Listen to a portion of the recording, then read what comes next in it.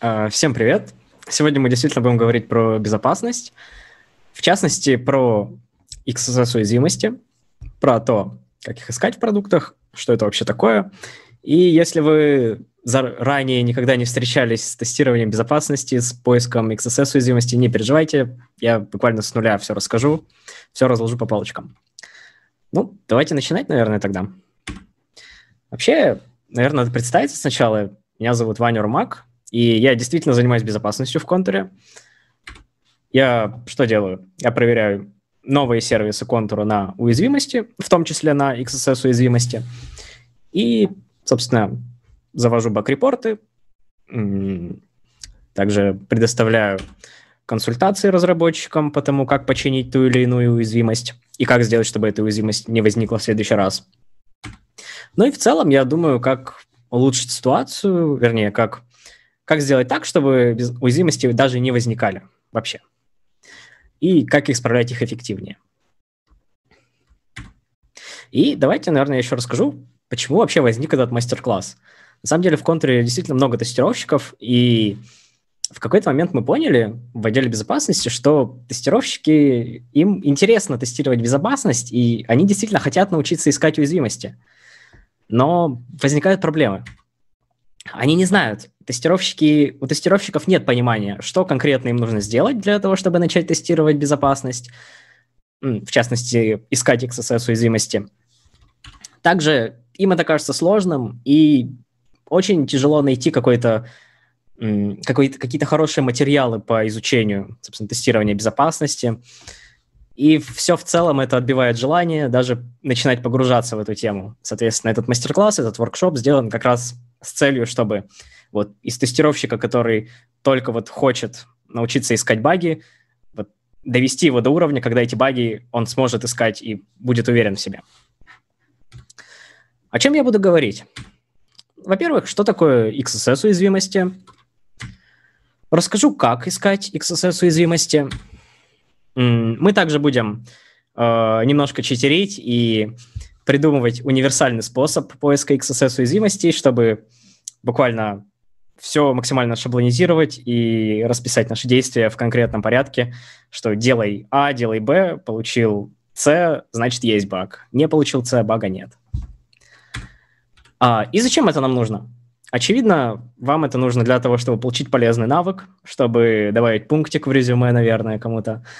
А, но это неплохо, потому что продукт, который тестирует тестировщик, умеющий тестировать безопасность, он по умолчанию будет безопаснее, чем продукт, который тестирует тестировщик, не умеющий тестировать безопасность. Поэтому э, тестировать безопасность всегда выгодно, по крайней мере, уметь ее тестировать. И как раз этим мы будем учиться. Этому мы будем сегодня учиться. Ну и начнем с описания, что такое XSS уязвимости. XSS расшифровывается как cross-site скриптинг, и по сути эта уязвимость, она заключается в том, что злоумышленник получает возможность выполнять какой-то произвольный JavaScript-код в браузере жертвы, которая сидит, не знаю, там в нескольких, в любой дистанции, в нескольких километрах. А, что это позволяет? Это позволяет красть информацию жертвы, совершать всякие, грубо говоря, делать все, что умеет делать JavaScript. Как, как злоумышленник может это, это воспроизвести, мы сейчас посмотрим. Вообще, для начала давайте вспомним, как можно вызывать JavaScript из HTML-странички. То есть я думаю, вы все знаете, что когда мы тестируем веб-приложение, все, что мы видим в браузере, это на самом деле является HTML-страничкой. Эта HTML-страничка также где-то генерируется, в нее подставляются какие-то какие параметры, и также эта HTML-страничка, она может выполнять JavaScript-код в браузере. И вызывается JavaScript из HTML несколькими способами. Первый способ – это используя скрипт тег, используя тег скрипт, вернее. Все, что внутри между открывающим тегом скрипт и закрывающим тегом скрипт, оно будет, собственно, а, воспринято браузером как JavaScript, который надо выполнить. Также JavaScript может выполняться, если были вызваны какие-то обработчики событий, например, onError. Ну, вот во втором примере с картинкой можно увидеть, что мы создаем тег э, «картинка», мы добавляем ему атрибут onError, что означает, если эта картинка не прогрузится, то браузер выполнит следующий JavaScript. и указываем источник этой картинки x, то есть несуществующий источник картинки. Соответственно, каждый раз, когда эта картинка будет рендериться в браузере, будет возникать ошибка прогрузки этой картинки, и, соответственно, возник, обр- срабатывать обработчик событий on error. И, соответственно, наш JavaScript-код будет выполняться. Также JavaScript может выполняться при клике на ссылки, на обычные самые гиперссылки, но если эти гиперссылки ведут на протокол JavaScript. То есть мы знаем, что у нас могут быть ссылки https example.com, у нас также могут быть ссылки, э, э, которые будут иметь значение JavaScript, двоеточие, и какой-то JavaScript-код. И при нажатии, если обычная гиперссылка вас перекинет на какой-то сайт, то при нажатии на ссылку со схемой JavaScript у вас тут же выполнится какой-то JavaScript. Также при прогрузке таких тегов, как iframe, аудио, видео, если в источнике указан протокол JavaScript, собственно, при рендере этого элемента браузер тут же выполнит этот JavaScript-код. Ну, на этом все. В принципе, самые базовые вещи мы посмотрели. И теперь стоит упомянуть, что на самом деле в веб-приложениях XSS-уязвимость это одна, это самая популярная уязвимость, которая вообще встречается в вебе, и к ней действительно уязвимы, потенциально может быть уязвимы 95% и больше веб-приложений. И в то же время, чтобы найти XSS-уязвимость, вам абсолютно не нужно обладать никакими специальными навыками, достаточно лишь просто знать методологию, как искать эту уязвимость, как отличить, собственно, место, где она есть и где ее нет. И в то, в то же время она остается серьезной уязвимостью, потому что, как я уже сказал, эта уязвимость позволяет удаленному злоумышленнику эксплуатировать, собственно, ваш браузер, грубо говоря, ваш, э, выполнять в вашем браузере произвольный JavaScript на каком-то сайте, которым вы пользуетесь, и этим JavaScript серьезно навредить вам. То есть, несмотря на то, что уязвимость распространенная, то, что ее относительно просто искать, она остается довольно серьезной. И почему вообще XSS возникает? Как злоумышленник получает возможность, собственно, у удаленной жертвы выполнять какой-то JavaScript? Ну, давайте посмотрим. А, во-первых, как я уже говорил, все, что мы видим в вебе, в веб-приложениях, в браузере, это, по сути, HTML-странички. И вы часто видите в веб-приложении свою информацию. Например, вы регистрируетесь в каком-то приложении банковском, при регистрации вы указываете свое имя, фамилию, и вы ждете, что далее, когда вы будете пользоваться этим банковским веб-приложением, в вашем личном кабинете будет отображаться ваше имя, фамилия, которое вы ввели при регистрации. Собственно, все уже к этому привыкли, потому что так, по сути, работает абсолютно любое веб-приложение. Но на самом деле для того, чтобы показать вам ваше имя в HTML-страничке, разработчику нужно подтянуть, собственно, ваше имя и вставить его в какой-то шаблончик, который заполняется данными из, из базы данных. Ну, грубо говоря, ваше имя, фамилия лежит в базе данных, и разработчику нужно решить задачу, чтобы показать каждому персонализированную страничку. Для этого он что делает? Он собственно, делает HTML-шаблон, и в этот HTML-шаблон подтягивает данные из базы данных. Соответственно, каждый раз каждый пользователь будет видеть уже финальный вариант шаблона, когда он заполнится вот данными из базы данных, и будет видеть всегда свою страничку, свой личный кабинет. Как раз вот одно из этих мест, э, когда мы можем как пользователь внести данные в приложение, приложение их положит в базу данных, и далее из вот этой вот, из базы данных оно будет подтягиваться в HTML-страничку. На вот этом моменте уже возникает, может возникнуть XSS-уязвимость, э, которая называется stored XSS. Почему stored? Потому что она хранимая. То есть мы как бы сохранили данные в базу данных, и дальше эти данные нам просто возвращаются из базы в страничке. Также мы можем отправлять какие-то, вернее, мы можем э, использовать какие-нибудь URL-параметры в наших страничках, и значения этих URL-параметров, они также могут вставляться в шаблон HTML-странички, который написал разработчик. Это уже будет называться Reflected XSS, потому что наш параметр как бы отражается в страничке. То есть, по сути, любое место, где какие-то наши пользовательские данные, вернее, данные, которые мы можем контролировать как пользователь, попадают в HTML-страничку, которую затем мы видим перед собой в браузере, э, все эти места — это потенциальные места для возникновения XSS-уязвимостей. На самом деле причин для XSS очень много. Допустим, Взять, например, какой-нибудь флеш-плеер, во флеш-плеере могут быть уязвимости XSS. Их очень много, но в рамках этого курса мы посмотрим две, два типа XSS, это вот Stored и Reflected. Это самые распространенные типы XSS, которые встречаются, и поэтому мы просто обратим, не будем обращать внимание на другие типы, которые крайне редко встречаются, а посмотрим самые основные. И для живого примера давайте посмотрим на страничку, которую все, наверное, знают здесь, кто присутствует. Это, собственно, главная страничка ВКонтакте. Когда мы впервые заходим на страницу ВКонтакте, что мы видим? Мы видим, что у нас есть функционал регистрации. Мы можем зарегистрироваться. Дальше так мы ждем, что ну, мы введем имя, фамилию, и это имя, фамилия, она же наверняка где-то будет использоваться затем. Поэтому что мы сделаем? А, мы захотим проверить, уязвима ли вот эта вот формочка, вот этот функционал регистрации и все последующие HTML-шаблоны, которые заполняются этими данными к XSS, заполнив их вот такими данными. То есть, если я регистрируюсь ВКонтакте со своим обычным именем, я просто ввожу Иван Румак. А если я хочу проверить этот сайт на безопасность, я к Иван добавляю script alert script, к фамилии Румак я добавляю тоже script alert script. Как мы помним, этот тег-скрипт нужен для того, чтобы вызывать, собственно, JavaScript из HTML. И вот здесь вот как раз возникает м, такая ситуация, когда вроде бы, с одной стороны, мы даем просто текст, мы не даем HTML, мы просто даем какой-то текст веб-серверу. А дальше этот веб-сервер может вставить этот текст в HTML-шаблон, и если этот текст не будет никак обработан, а просто вставится в HTML-шаблон как HTML, собственно, вернее, вставится в шаблон как HTML-код и вернется нам в браузер, то этот HTML-код выполнится. И, соответственно, мы получаем, получается, что мы внедрили лишний тег-скрипт, и он выполнится. Схема примерно такая. Мы при регистрации указываем имя, фамилию, Иван скрипт скрипт, Румак скрипт скрипт. Мы нажимаем зарегистрироваться, и эти данные, они приложением отправляются в базу данных.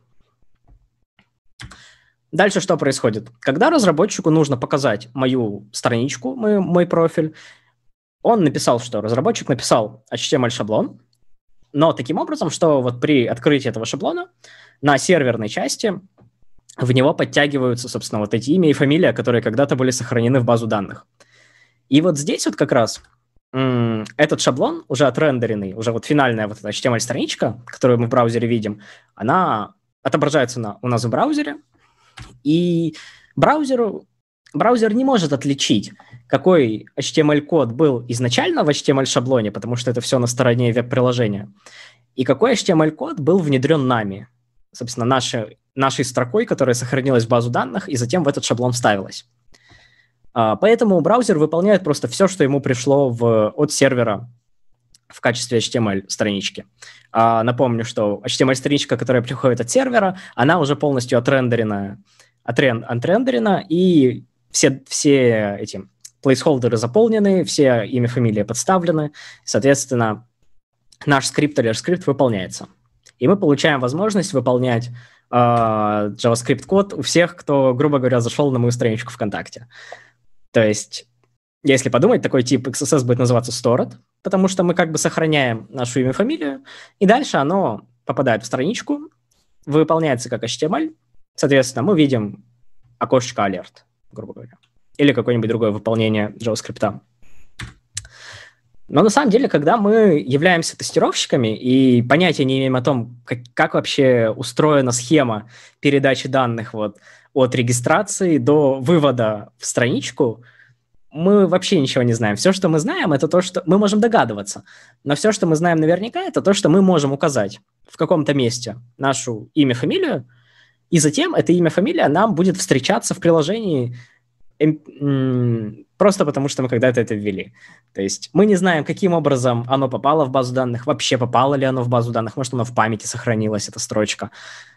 Но на самом деле, даже без знания того, как все устроено, нам уже достаточно, собственно, вот этой информации для того, чтобы начинать искать XSS-уязвимости. То есть нам достаточно иметь какое-то поле, куда мы сохраняем данные, и какое-то место, где эти данные потом выводятся. Uh, здесь с описанием XSS я заканчиваю. Надеюсь, что всем понятно. Если кто-то еще не понял о том, что такое XSS, про механику уязвимости, пожалуйста, пишите вопросы, я постараюсь ответить. Давайте, наверное, Дима. А, Дима на месте. Дело в том, что вопросики, которые уже задали в чате, ответил на них Леша. На все. Ну, пока Хорошо, давайте минуту подождем. Если кто-то пишет сейчас в процессе написания вопроса, мы дождемся его и через минуту продолжим. Да, ребята, не стесняйтесь писать вопросики. Даже если вопрос покажется вам, ну, очевидным, почему бы нет? А, возможно, вы зададите вопрос, который в голове у других людей, а Ваня возьмет и красиво ответит. Он сидит и ждет. Да, я очень жду. Это правда.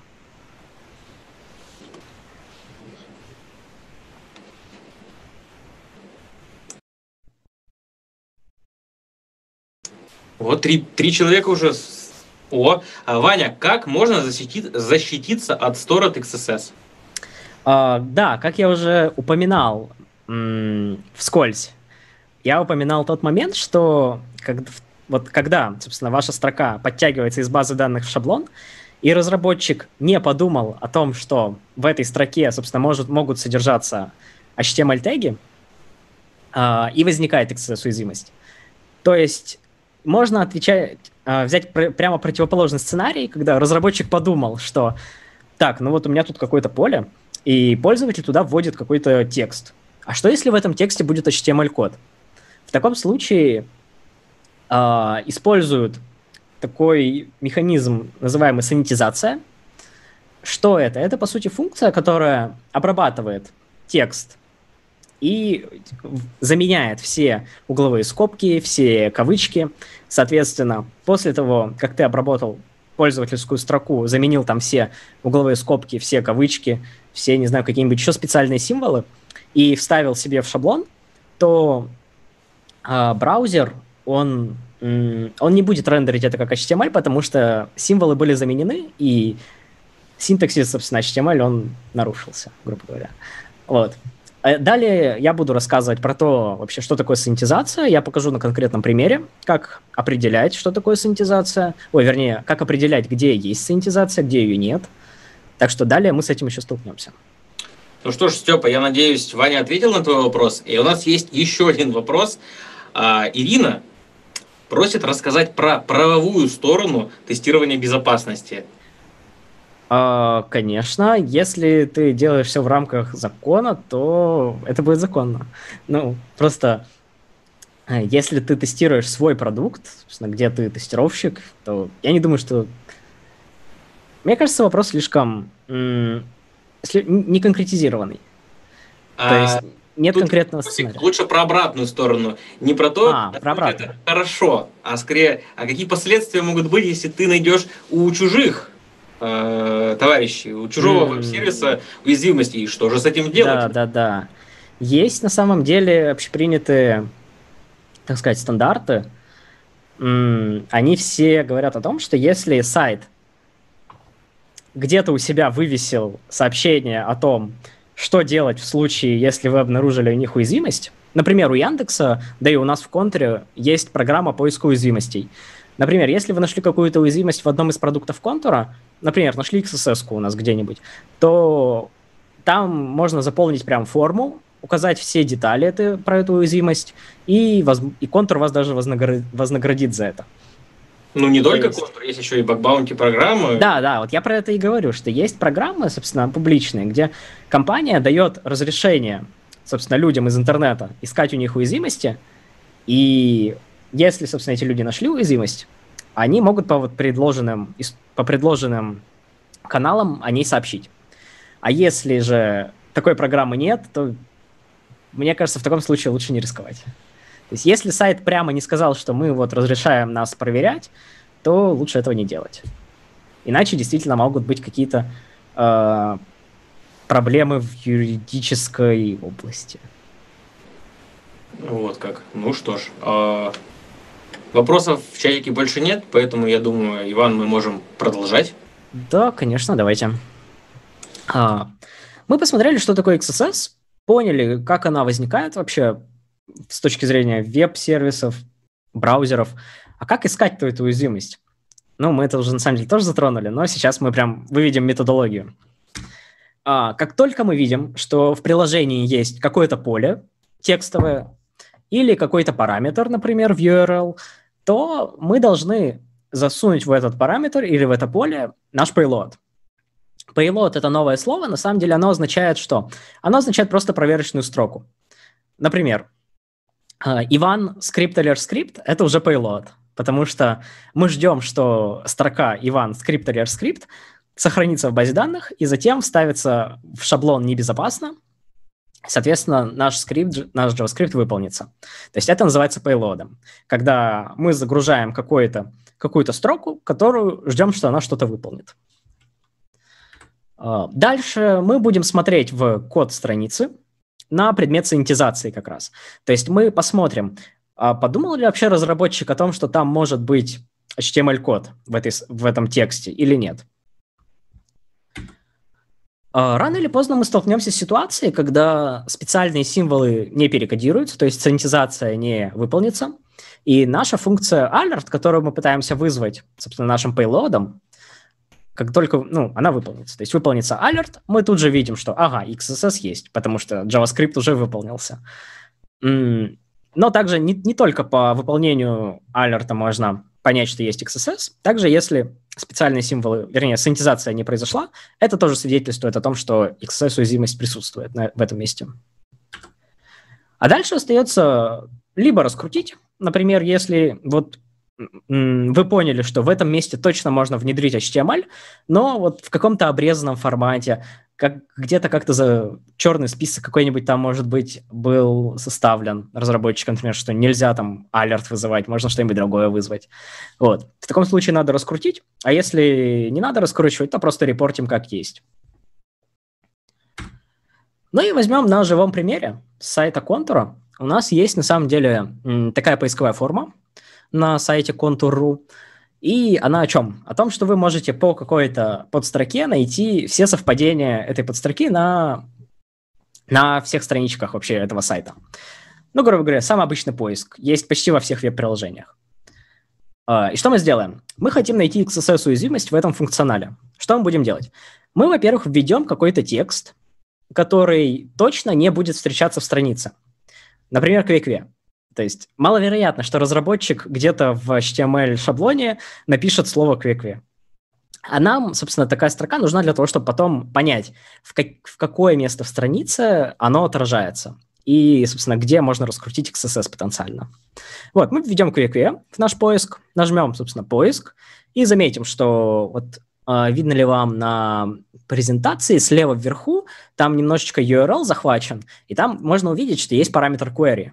И вот когда мы нажимаем поиск, наш вот этот вот текст, который мы завели в текстовое поле, оно переносится в URL-параметр.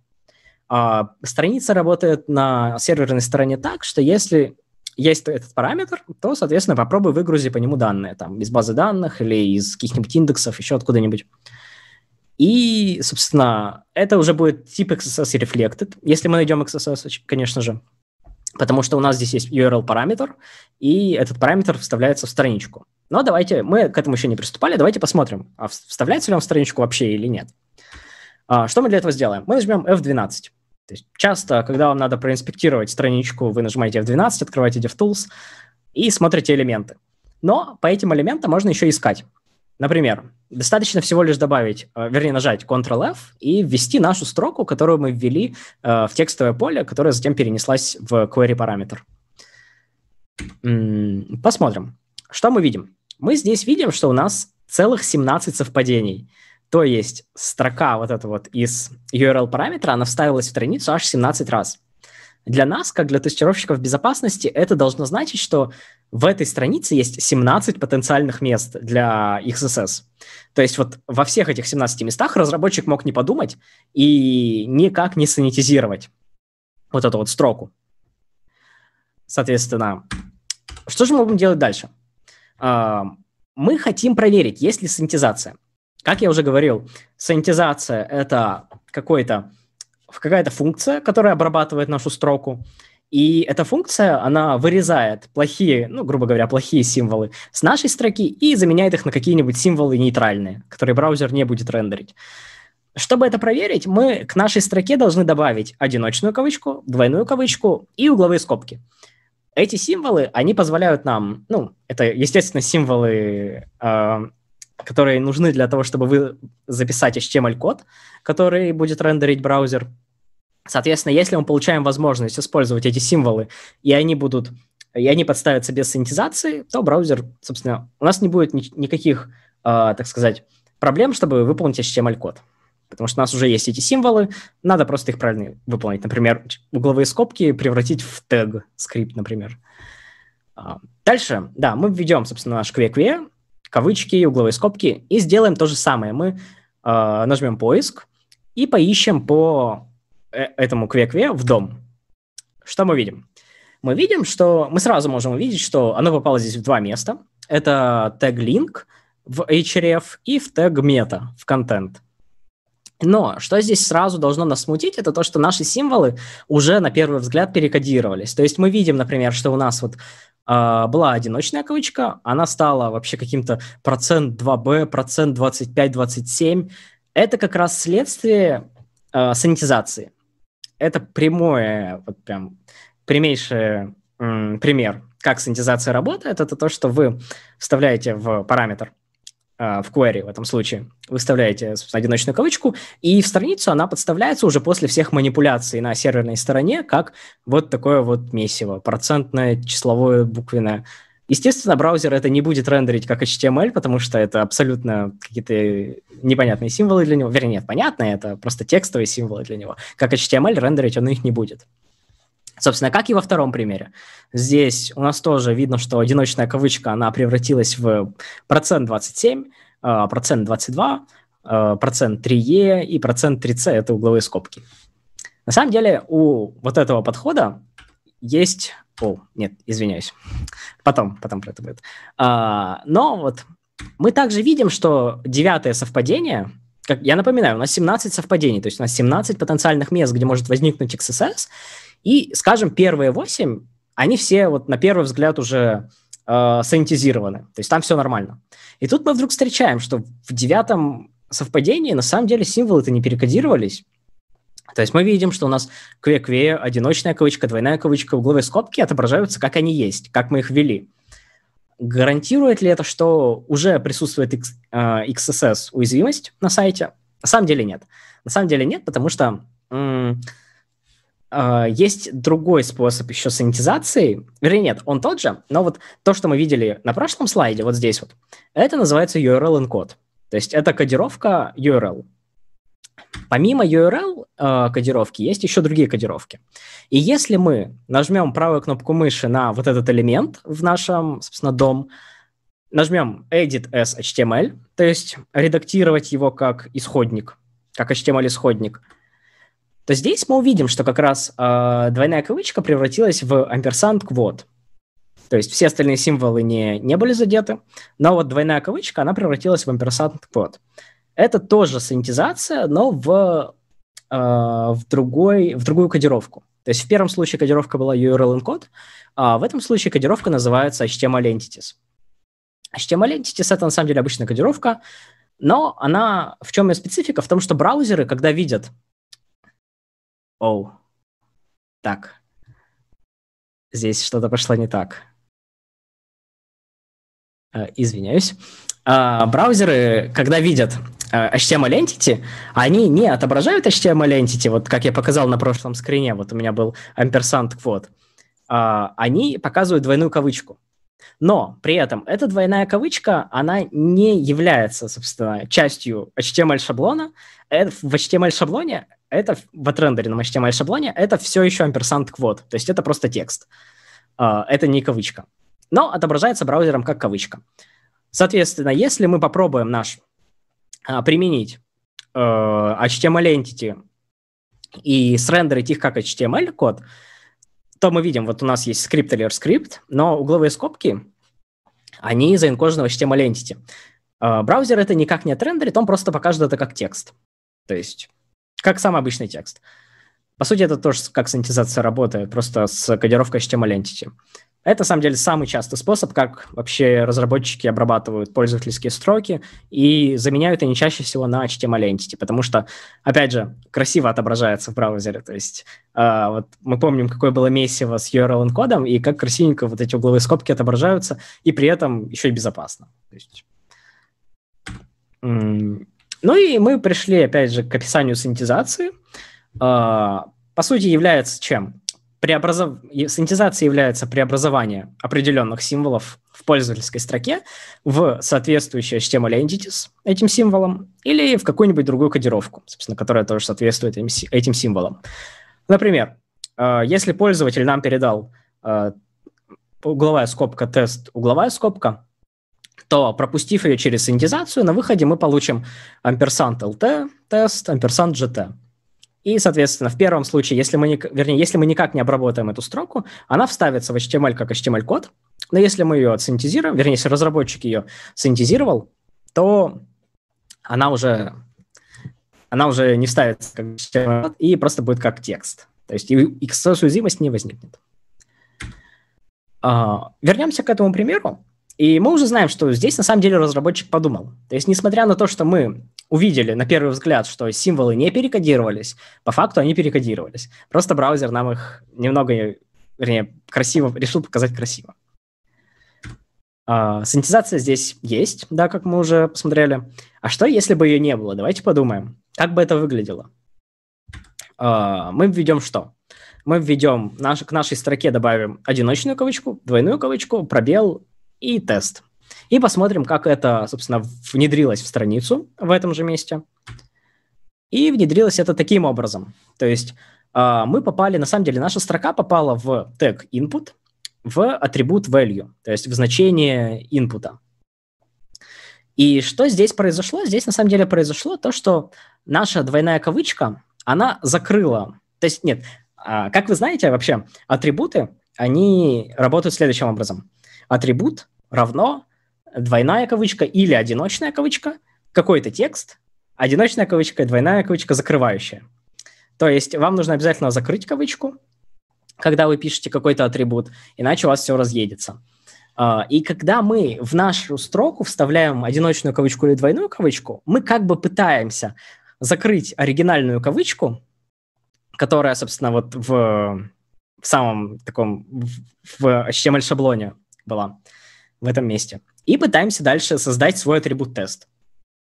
Как мы видим, э, наше вот слово «тест» слева, оно подсвечивается ровно так же, как и все остальные атрибуты. Например, max-length э, коричневым цветом отраж... отображается, как и наш, собственно, как и наш атрибут-тест, который мы туда внедрили. И, как я уже говорил, JavaScript, он также может быть вызван из атрибутов, например, из, обраб... из обработчиков событий. То есть, что нам нужно здесь дальше сделать? Нам нужно а, нам нужно добавить вместо нашего атрибута тест атрибут onFocus и атрибут автофокус. По сути, что это означает? Это означает для браузера такую инструкцию, что когда этот элемент прогрузится, добавь ему обработчик событий onFocus, при фокусе на этот элемент выполнится вот этот вот JavaScript, то есть в нашем случае это просто алерт, и как только этот элемент прогрузится, сразу же наведи на него фокус. Об этом говорит атрибут автофокус. Соответственно, когда э, этот элемент, вернее, этот input, этот тег, э, рендерится браузером, тут же срабатывает автофокус, тут же срабатывает событие onFocus и выполняется алерт. Э, в таком случае, что мы получаем? Мы получаем выполнение JavaScript. По сути, типичная Reflected XSS уязвимость, которой можно атаковать других пользователей, потому что э, достаточно всего лишь, как мы помним, вот это вот значение, оно подтягивается из параметра query, из URL. И нам достаточно всего лишь кого-то по ссылке с таким параметром, э, так сказать, редиректнуть или, не знаю, скинуть там ссылку каким-нибудь другим пользователям, где-нибудь на форуме ее оставить, э, как-нибудь ее там тысячу раз скрыть за сокращателями ссылок – и, собственно, каждый раз, когда они кликнут на эту ссылку, у них будет выполняться, рендериться вот этот вот, э, рендериться эти атрибуты и выполняться JavaScript. Естественно, alert — это просто безобидный способ, э, как показать вообще, что XSS-уязвимость есть. На самом деле, э, так сказать, payload злоумышленника, он будет отличаться, очевидно. То есть злоумышленнику этот алерт абсолютно ничего не даст. Но вот мы посмотрели, и не кажется ли вам, что это как-то сложно? Мне вот кажется, что это что-то слишком сложно. Что-то каждый раз там смотреть в дом, искать там какие-то строки, еще и контексты вычислять. На самом деле есть способ проще. Он называется универсальный payload. А, что это такое? Это такая строка проверочная, которая должна выявлять XSS в любом контексте, в какой бы она ни попала. Ну, в большинство контекстов. То есть, допустим, сейчас мы видели такой контекст, что мы попали внутрь атрибута, и нам, чтобы выйти из этого атрибута, нужно было добавить кавычки и добавить наши, собственно, другие атрибуты. Там выполнить JavaScript. А, мы могли знать, что такой случай типичен для веба, что вот мы можем попасть как, в, как внутрь атрибута, так и еще куда-нибудь. И вот сейчас что мы будем делать? Мы будем э, создавать наш универсальный payload, мы рассмотрим все возможные контексты, куда наша строка может попасть в HTML, и на выходе получим такую строку, которая нам поможет вообще почти во всех случаях гарантированно. Ну и давайте посмотрим. Uh, начнем с самых основ, с самого вообще для самых новичков. И я думаю, если вы до этого интересовались тестированием безопасности, вообще там гуглили что-то, там, не знаю, гайд по поиску XSS уязвимости, по тестированию безопасности, часто вы видели вот этот payload script alert script. Собственно, я его тоже использовал сегодня, но лишь для наглядности. А, потому что этот payload, он самый такой распространенный и, собственно, самый стандартный, вот, наиболее известный. Но так как я уже сказал, что он ну, для новичков, мы, естественно, будем делать что-то более продвинутое. И будем как все смотреть. У нас будет какой-то шаблон HTML-странички, в который что-то подтягивается. И мы будем этот payload, собственно, туда подтягивать и смотреть, выполнится ли он в этом контексте или что надо добавить, чтобы он выполнился. И начнем с самого банального примера. Это э, теги разметки. То есть, допустим, вот наша строка, Здесь, на самом деле, вот представьте, что это PHP-страничка, и здесь есть вот такой PHP-кусок, что выведи в страницу э, значение атрибута, вернее, значение URL-параметра name. То есть, допустим, у нас есть какая-то страничка, она принимает URL-параметр name, и значение этого параметра name, оно будет кла- э, класситься вот сюда вот, в страничку, в тег разметки. И если мы сейчас вот в качестве URL параметра name передадим наш payload текущий скрипт alert скрипт, как вы думаете, вообще alert выполнится в этом случае? То есть у нас срендерит ли это браузер как HTML? Давайте опрос проведем в Zoom.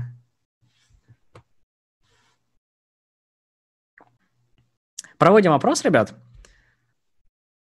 Ого,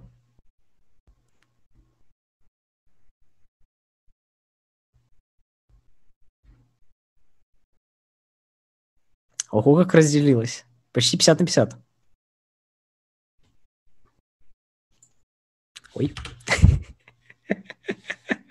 Немножко спойлернул случайно. Ладно, вроде большинство проголосовало. 50 на 50. Удивительно. А, даже нет. Ого, за нет проголосовало больше. А, ничего себе. На самом деле, я не знаю, почему вы думаете, что не выполнится. На самом деле оно выполнится. Так, сейчас, секунду. Оно выполнится. Потому что, опять же, как я уже сказал, браузеру, э, вернее, в том коде не было никакой синтезации, не было никакой обработки. Мы никак не обработали, собственно, значение URL-параметра перед тем, как вставить его в страничку. И браузер, соответственно, на выходе просто видит, э, собственно, значение этого URL-параметра без какой-либо обработки. И если там скрипт или скрипт, то браузер видит, что это, ага, это HTML, надо его выполнить. Соответственно, оно выполнится. Это такой самый базовый пример.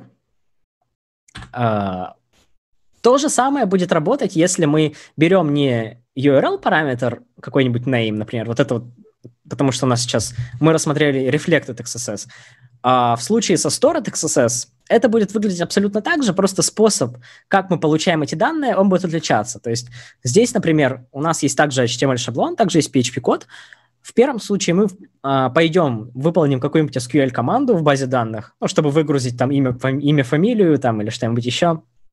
И затем просто также используем функцию echo в PHP, чтобы вывести эти данные в страницу. И, соответственно, если до этого в базу данных мы сохранили, собственно, наше имя Вася скрипт скрипт, оно абсолютно также вставится, и так как не было синтезации, оно также выполнится. То есть alert э, выполнится в этом случае. А вот пример посложнее. Э, как я уже сказал, мы только что рассматривали теги разметки. А что, если мы попали внутрь значения атрибута? То есть вот здесь вот мы можем увидеть, что наш PHP-код, он выполняется, вернее, он находится в, внутри значения атрибута и как раз делает примерно то же самое, что мы смотрели на сайте контура. Он подтягивает URL-параметр и засовывает его внутрь, собственно, значения атрибута. Никак не санитизирует. То есть, опять же, функция echo в PHP, она никак не санитизирует, а просто э, выводит текст, как он есть. Если мы подставим сюда наш текущий payload, скрипт alert скрипт, как вы думаете, это сработает ли alert у нас в этом случае? Давайте голосование в Zoom проведем. Кто как думает?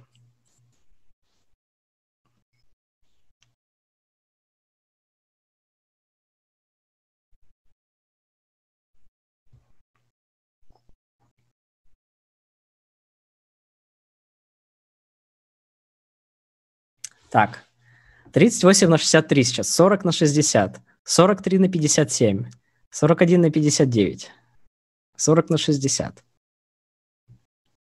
Но большинство за нет, я так смотрю.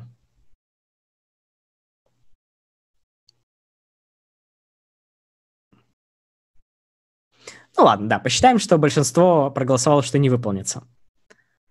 Так, я завершаю вопрос. 41 на 59 получилось.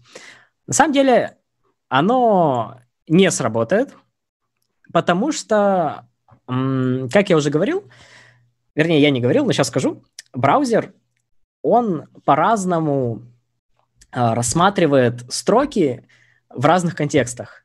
То есть, например, вот в этом случае контекст – это э, значение атрибута.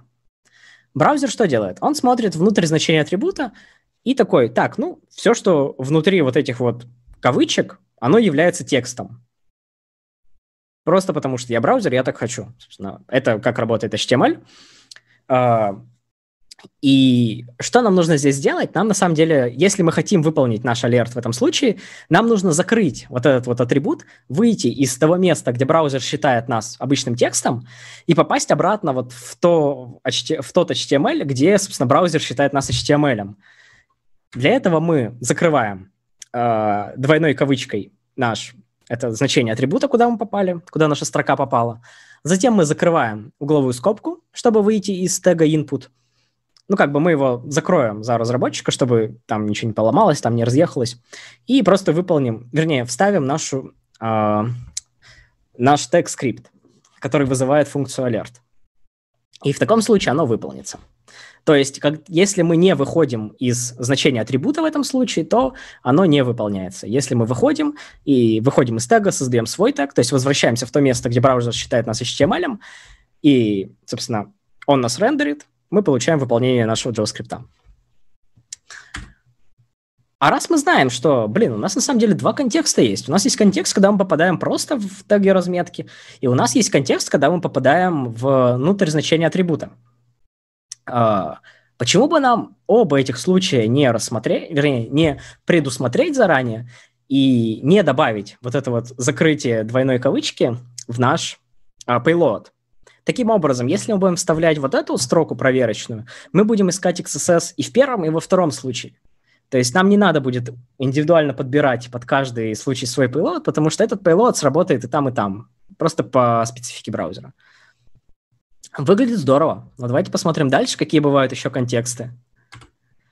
Мы переходим к следующему уровню по сложности понимания, так сказать, механики работы браузера. И рассмотрим XSS, когда ваша строка попадает внутрь специфичных тегов. Например, внутрь тега title. Вот здесь вот у нас есть шаблон, и в этом шаблоне есть тег title. Если кто-то не знает, то тег title это он нужен для того, чтобы дать имя вкладочке в браузере. То есть, когда вы видите имя вкладочки, оно, скорее всего, задано вот в, в теге title. И сюда как раз подтягивается наш, наше имя, URL-параметр. И что будет, если мы подставим наш текущий payload в это место. Сработает оно или нет? Как вы думаете? Кажется, что вроде бы мы внутри тегов разметки, наверное, даже, и вроде бы браузер должен это выполнить, но непонятно. Давайте посмотрим, что вы думаете. Ого, сто процентов нет. О, вот, вот, два человека, да. Три человека, да, четыре, да. Я тоже считаю, что выполнится, а почему нет? Почему нет? Собственно, никаких синтаксических ошибок я не вижу с точки зрения HTML.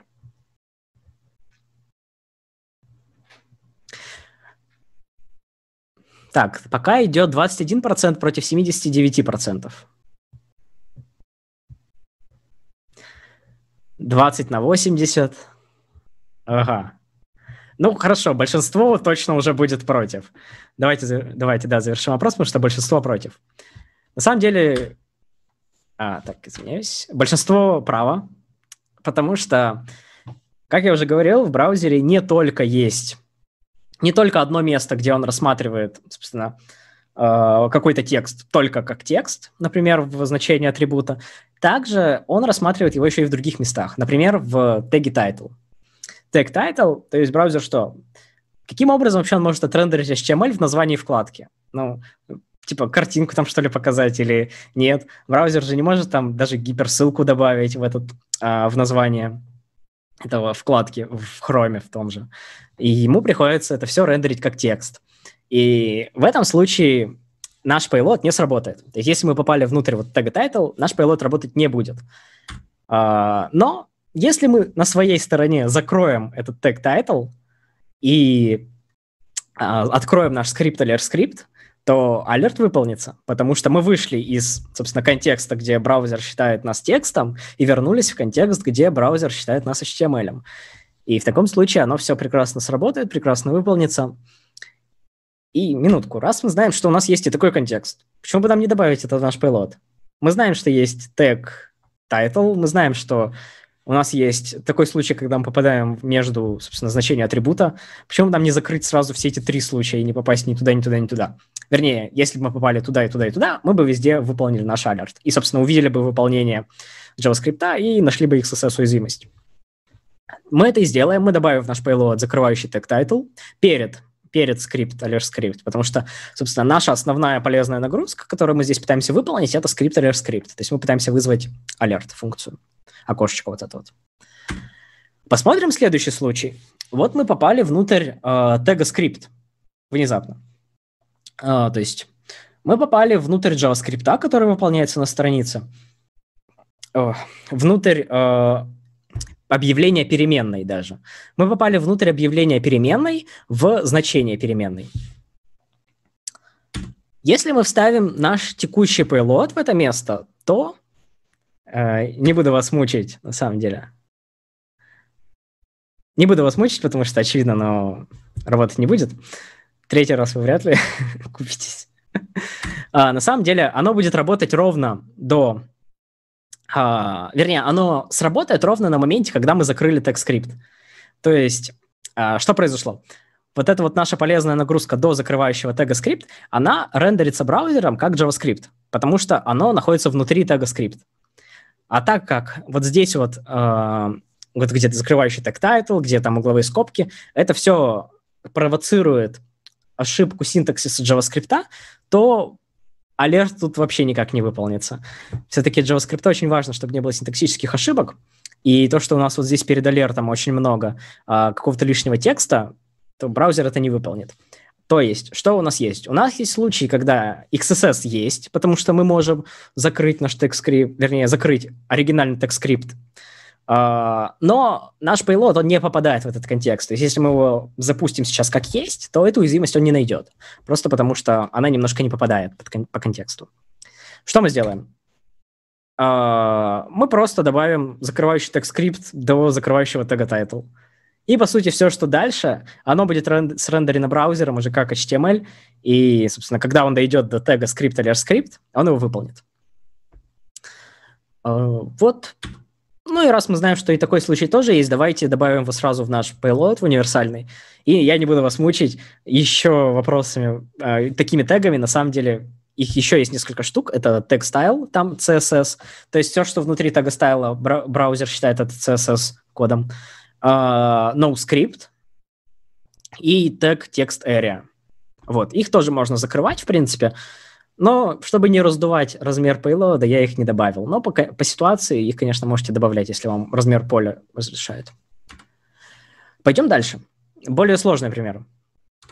А, помните, мы попадали внутрь значения атрибута, и что мы делали? Мы выходили из значения атрибута, потом закрывали тег input, открывали свой тег скрипт и таким образом попадали в место, где браузер считает нас HTML. И выполняем там наш алерт. Но разработчик на самом деле в этом случае обосабливает двумя кавычками. А я уже говорил, что разработчик может и, одиноч- и одиночной кавычкой их обособить. В таком случае наш payload не будет работать, Просто по той причине, что мы это не предусмотрели и не добавили одиночную кавычку. Мы рассмотрели только случай с двойной кавычкой, но если в шаблоне HTML-страницы это одиночная кавычка, то этот случай мы не попадаем. Поэтому мы добавим просто одиночную кавычку в наш payload и пойдем дальше. Не будем на этом долго останавливаться. Так. А, вот у нас есть еще один пример. У нас есть а, другое место, вернее, нет, то же самое место, где мы попадаем внутрь а, значение атрибута, которое обосабливается одиночной кавычкой. Но э, разработчик добавил, так сказать, функцию санитизации. Если вы посмотрите наверх, наверх вот в PHP-код, вы увидите, что э, наша строка пользовательская, которая содержится в параметре name в URL, она преобразовывается. То есть в ней все совпадения закрывающих этих м, тегов заменяются на HTML entity, и, соответственно, происходит какая-то санитизация. В таком случае, если мы вставим наш текущий payload, ну, вернее, не наш текущий payload один в один, а payload, где мы используем одиночную кавычку и закрывающий, собственно, угловую скобку, чтобы выйти из инпута. Из инпута мы выйти не сможем, потому что э, угловые скобки нам запрещены, закрывающие. Но э, так как мы смогли выйти из атрибута, как мы уже помним, мы можем писать свои атрибуты.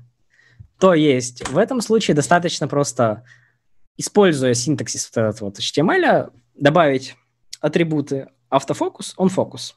И при фокусе мы вызовем алерт. А, что дальше? А, да. А помните случай, когда мы попадали внутрь тега скрипт? То есть мы его закрывали, а, открывали новый скрипт, чтобы не было никаких синтаксических ошибок. А могли ли бы просто продолжить текущий JavaScript? Ну, то есть мы в наш параметр name вводим, собственно, что? Двойную кавычку, точку запятой, вызываем alert и комментируем все, что дальше, чтобы не возникло синтаксической ошибки. То есть, если кто-то не знает, в JavaScript два слэша прямых — это коммент, single line. То есть, все, что дальше, оно будет закомментировано. Таким образом, оно выполнится абсолютно нормально браузером, и нам даже здесь не нужны угловые скобки, чтобы его выполнить. То есть, если мы попали внутрь тега скрипт, надо также еще обратить внимание, можем ли мы выйти, вернее, продолжать писать наш JavaScript в контексте уже существующего JavaScript. Это тоже довольно частый случай XSS. А, но, как я также замечал в самом начале, собственно, доклада, ну, мастер-класса, лекции, а, мы можем вызывать JavaScript еще и в ссылках, если их протокол ведет а, на схему JavaScript. То есть помните, да, там был A, href, JavaScript, двоеточие, какой-то JavaScript. При нажатии на эту ссылку, собственно, у нас будет обрабатываться этот наш, срабатывать наш JavaScript. Э, и часто разработчики, на самом деле, они что делают? Они принимают вот какой-то URL от пользователя и вставляют его в ссылку. Например, чтобы вернуть пользователя туда, откуда он пришел. Например, пользователь на, одном, на одной страничке кликнул ссылку на другую страничку, и на той страничке, куда он перешел, он может кликнуть, собственно, кнопочку «Обратно вернуться». И часто это реализовывается именно через URL-параметр, какой-нибудь return URL, например, типа возвращающий URL, там что-нибудь такое, типа back URL, там просто URL. И если мы вот в это место введем JavaScript двоеточие alert, то при нажатии на кнопку «Вернуться», ну, на эту гиперссылку, наш алерт сработает. И мы можем также кинуть эту ссылку другому пользователю, он нажмет кнопку «Назад», и у него выполнится тоже JavaScript. То есть таким образом мы можем еще его атаковать. А, так, стоп. А если мы добавим пробел перед JavaScript, как вы думаете, сработает? Поведется ли браузер на такое? Тут кто как думает вообще? Ого, сто процентов за. Я пока водички попью.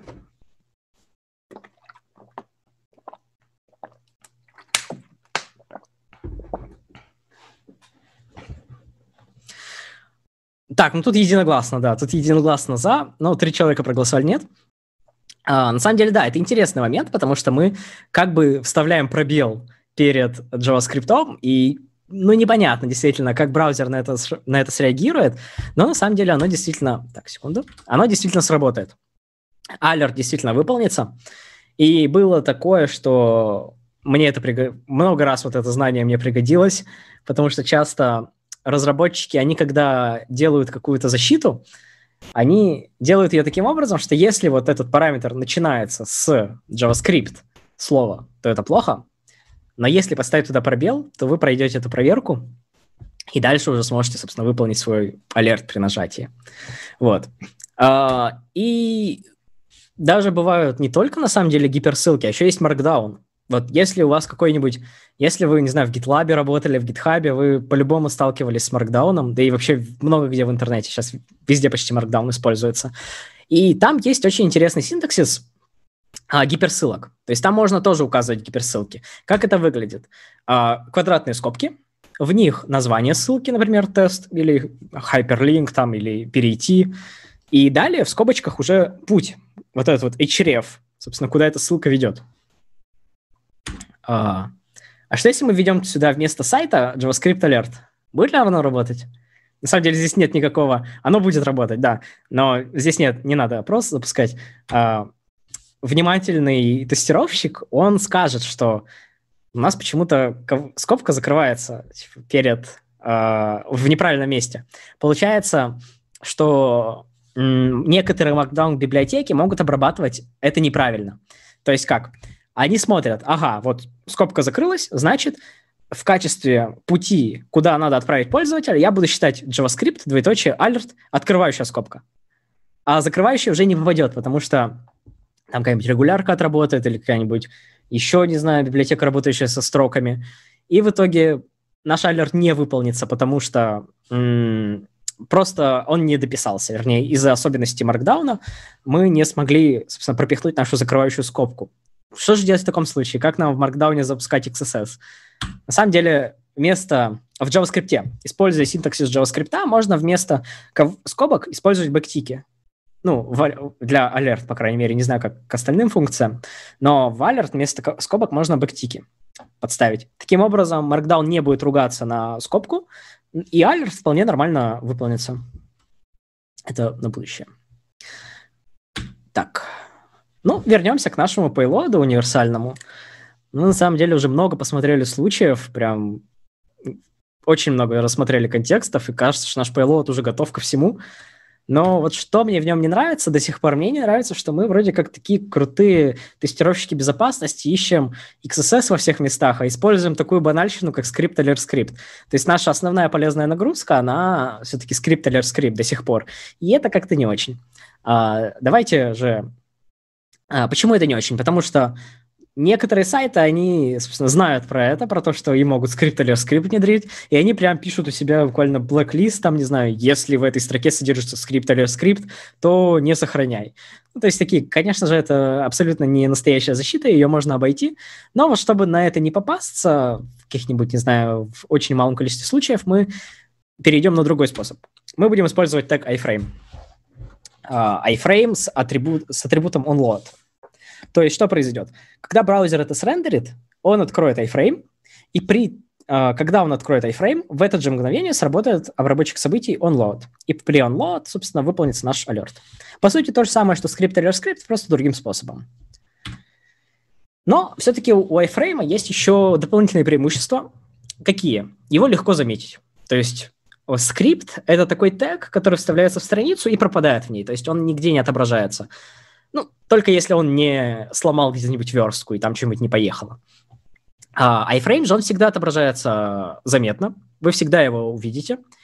И если он встраивался в страницу, но сработали какие-то санитайзеры, то вы всегда заметите, что вы смогли внедрить iframe, потому что он выглядит примерно вот так. Конечно, не знаю, насколько это наглядно на, на трансляции, но а, в HTML странице он всегда заметен. Он всегда очень хорошо заметен. Но и также, как я уже сказал, могут обработать какие-нибудь санитайзеры, например, э, обрезать все onload или обрезать все on атрибуты. Э, в этом случае у iFrame есть атрибут crcdog. Этот атрибут что делает? Он э, принимает значение HTML-страничку, то есть, вот, вот вы знаете, да, зачем вообще iFrame нужен? iFrame показывает одну страничку внутри другой странички, грубо говоря. Соответственно, вы можете это сделать двумя способами. Либо указав CRC-атрибут, чтобы iFrame подтянул с сторон, вернее, со стороннего сайта, собственно, вот, этот, вот, вот эту страничку. Или вы можете эту страничку указать прям ее исходный код внутри атрибута crc-doc. Получится то же самое, только в первом случае вы подтягиваете с удаленного сайта, а во втором случае вы пишете прямо здесь вот страницу, которую надо отрисовать. И в чем э, хорошая, хорошая, хорошая сторона, сторона этого атрибута в том, что он принимает HTML-код за синтезированный HTML entity. То есть разработчик, когда увидит вот этот тег, э, и при этом он разрешает iframe, разрешает атрибут crcdoc, он не может ничего здесь сделать, чтобы, собственно, alert не выполнился. Alert всегда будет выполняться, ну, если только разработчик не будет, э, не знаю, таргетно как-нибудь, не знаю, обрезать амперсант или что-нибудь еще, э, потому что чаще всего э, функции для синтезации, они, они общие, то есть они все делают одно и то же. Они обрезают угловые скобки, кавычки, вот. И к этому случаю, если применить санитизирующую функцию, она ничего не поменяет, потому что здесь нет ни скобок, ни угловых скобок, ой, ни угловых скобок, ни кавычек, извиняюсь. А, но при этом оно выполнится. Оно выполнится абсолютно как HTML и даже вызовет функцию alert, которую мы можем легко заметить. И если мы э, с помощью инструмента для декода, энкода HTML entity, собственно, введем наш нашу заэнкоженную строку, то на выходе мы можем увидеть, что декодит, она выглядит как скрипт или скрипт.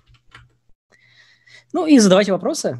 Блин, Дима ушел, но на самом деле пишите вопросы, если вот вам по вот этой части. Мы на самом деле закончили с контекстами, там, конечно, потом еще будут контексты и практика. Мы, собственно, основную часть по контекстам мы закончили, но если у вас есть какие-то вопросы возникли, пожалуйста, спрашивайте, мы сейчас ответим на них. Дима. А Дима, вопросов. Дима на месте и сейчас начинает смотреть вопросики, которые задают в Телеграме. Угу.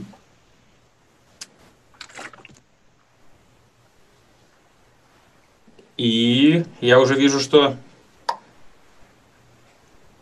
некто Алекс пишет что-то. Я прям жду в нетерпении, что же мне озвучить. Да, пишите вопросы, не стесняйтесь. Если вы что-то не поняли про какой-то контекст, или пока вам непонятно что-то, то вообще не стесняйтесь.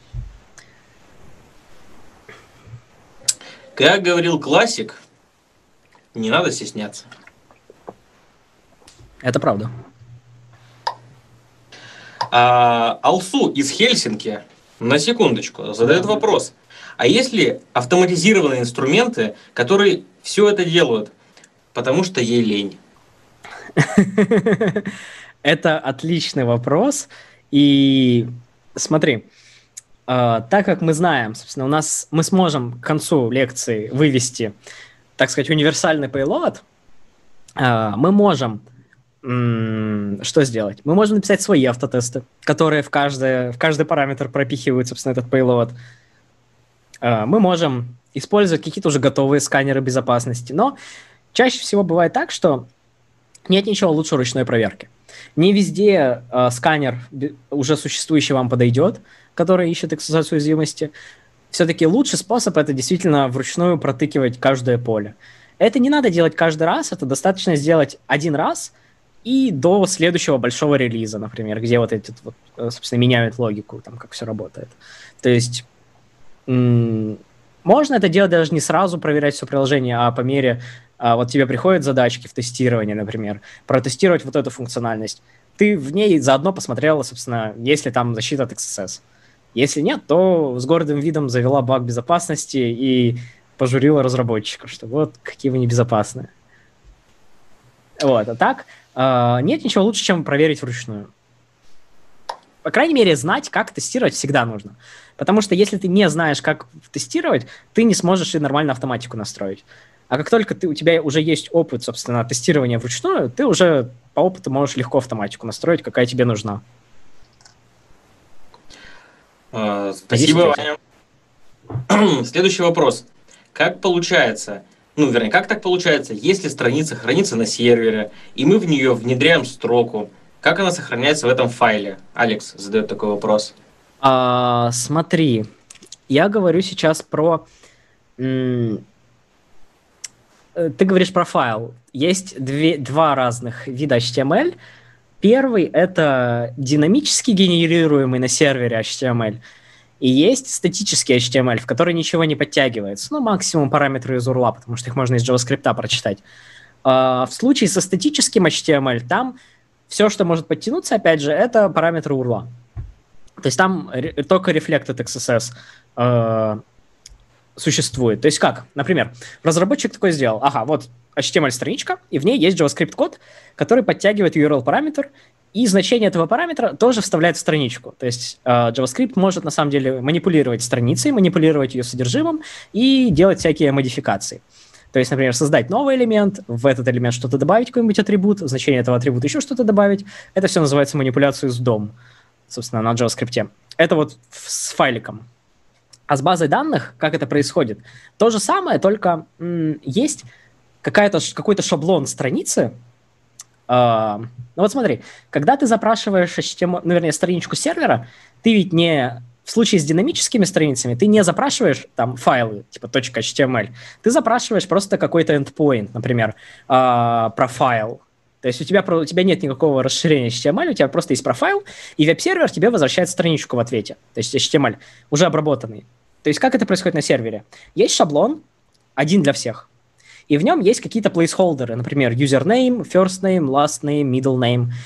И когда ты запрашиваешь вот profile, веб-сервер что делает? Он смотрит в твою сессию, то есть кто ты вообще такой по куке определяет, а, и в зависимости от этого он идет в базу данных, берет, собственно, значение из базы данных на бэкэнде, и э, вот эти плейсхолдеры меняет на вот эти значения. И в ответ веб-сервер уже возвращает тебе HTML-код. То есть вот это вот в динамическом случае. То же самое он может также э, абсолютно то, абсолютно то же самое он может сделать с URL-параметрами. То есть Reflected XSS не только в статических страницах, оно еще и в динамических может быть. Но просто для статических страниц там только Reflected XSS актуально, потому что они не могут сходить в базу данных. Надеюсь, ответил. То есть в случае с веб-приложениями ты не идешь напрямую к HTML-страницам, ты идешь к каким-то эндпоинтам. И эти эндпоинты, они проксируют тебе HTML-страницу, которую, собственно, они генерируют. Ну, я надеюсь, ответил. А, Алекс ответил спасибо. Так Пожалуйста. что, наверное, он понял. А, ребята, у нас сейчас по плану запланирован 10-минутный перерыв. Поэтому мы сейчас отключимся, а через 10 минут мы вернемся, и у нас будет практическое задание. Ваня расскажет, что нужно делать. Не совсем. Не совсем, Дима, извини. У нас будет еще немножко, вот прям совсем чуть-чуть еще э, мы докрутим универсальный пейлот, и потом уже будет практика. Ну, это буквально 5 минут и практика. 5 минут и практика. Mm-hmm. Ну все, давайте засекаем. Сейчас. А, так, все, я шарю экран. Надеюсь, всем видно, всем слышно меня. А, был вопрос, пока вот мы были на перерыве, спрашивали, как защититься от, собственно, айфрейма то ведь стандартные методы синтезации не работают. На самом деле, э, в чем суть? Стан- самый стандартный метод синтезации это когда ты э, обрабатываешь, собственно, одиночные кавычки, двойные кавычки, угловые скобки из пользовательской строки в HTML entity. Этот способ сработает везде, даже с iFrame. Но иногда тебе нужно разрешить айфреймы. Ну, например, на YouTube нет, например, на форуме тебе нужно добавить функционал, там, добавление видео с YouTube. Это делается только iframe. Часто и вот в таких случаях тебе уже нужно придумывать, а что может пойти не так. Например, так, ну вот я знаю, что в iframe можно добавить onload. Запрещу-ка я, запрещу-ка я onload. И вот если ты забыл про crc-doc, а crc-doc про него забыть очень легко, потому что это уникальный атрибут, другого такого нигде нет. То есть он очень специфичный, он редко используется, и про него действительно очень легко забыть. И вот в таких-то моментах Э, iFrame как раз и работает лучше всего. Вот. То есть обычные э, способы синтезации против iframe будут работать, потому что угловые скобки, они э, синтезируются в HTML entity, и браузер это не срендерит как iframe даже, он просто это срендерит как текст. Вот, я надеюсь, что я ответил. Так, мы можем тогда пойти дальше. Дима? Ну, э, я делал фотографии для того, чтобы отправить в чатик. Да, мы можем идти ага, дальше. Все, все, идем дальше тогда, прекрасно. А, пойдемте. Пойдем на уровень повыше. Окунемся в совсем уже джедайские техники по поиску XSS уязвимостей. И здесь, в этом слайде, я вам должен рассказать про то, что э, есть на самом деле несколько лайфхаков, которые могут сделать ваш payload еще более удобным, еще более, э, еще более трудно, так сказать, санитизированным. Это то, что пробелы Вообще в HTML, на самом деле, браузер раз, разрешают вместо пробелов в тегах использовать слэши, то есть прямые слэши. В таком случае наш iframe пробел onload будет являться на самом деле uh, iframe slash onload. И если, например, там синтезация как-нибудь по пробелам, там что-то делит по пробелам, там что-нибудь еще потом вырезает, то когда у нас слыши вместо пробелов, это еще нам дает бонусные очки для того, чтобы обойти какую-то потенциальную синтезацию на серверной, на серверной стороне. И вторая интересная вещь это на самом деле то, что HTML-теги не обязательно закрывать. Внезапно. Некоторые HTML-теги. Ну, в частности, iframe можно не закрывать. Почему так? Потому что браузеры смотрят, вернее, браузеры э, подстраиваются под разработчика. Если разработчик допустил ошибку в HTML-коде, если он забыл добавить, вернее, забыл закрыть тег, то, ну, мы же все понимаем, что разработчик имел в виду. Он по-любому хотел его закрыть. Но раз он его не закрыл, значит, я закрою за него. Ну, это так браузер думает. То есть браузер автоматически доб- добавляет закрывающую, угол, зак- закрывающую угловую скобку, чтобы закрыть iframe, и, соответственно, добавляет там закрывающий iframe. А, ну вот. И это тоже нам может быть полезно. Потому что, например, если есть санитизация, которая работает по совпадению, например, вырежи все, что в этой строке подходит под паттерн открывающая угловая скобка, что-то, какой-то текст и закрывающая угловая скобка. Например, регулярным выражением. Такое очень легко искать. И в таком случае мы можем просто не закрывать наш тег, и наша строка, она не будет содержать закрывающую угловую скобку, и проверка того, что э, открывающая угловая скобка, что-то там закрывающая угловая скобка, она работать не будет, потому что закрывающей угловой скобки нет. То есть м- все условия не совпадут. И таким образом это еще один способ, как можно обойти синтезацию на серверной, на серверной стороне. Ну и зная вот эти вот джедайские техники, мы можем наш payload вот из iframe пробел onload закрытый превратить в iframe slash onload и не закрывать его. Это будет идеально работать в браузере, это будет рендериться, но это все дает нам небольшие очки, чтобы э, справиться с синтезацией, которая потенциально может быть на сервере, опять же. Но мы внезапно забыли про один очень важный контекст. Это HTML-комментарий. То есть, как мы знаем, все, что внутри HTML-комментария, оно тоже не будет, э, тоже не будет э, выполняться браузером как HTML, оно будет являться текстом. Ну, просто потому что это комментарий. Было бы странно, если бы в HTML-комментарии э, рендерился HTML. Э, в этом случае мы добавим в наш payload закры- закрытие HTML-комментария, вот здесь вот между закрывающим тегом style и открывающим iframe. Мы добавим вот просто две черточки после, после пробела.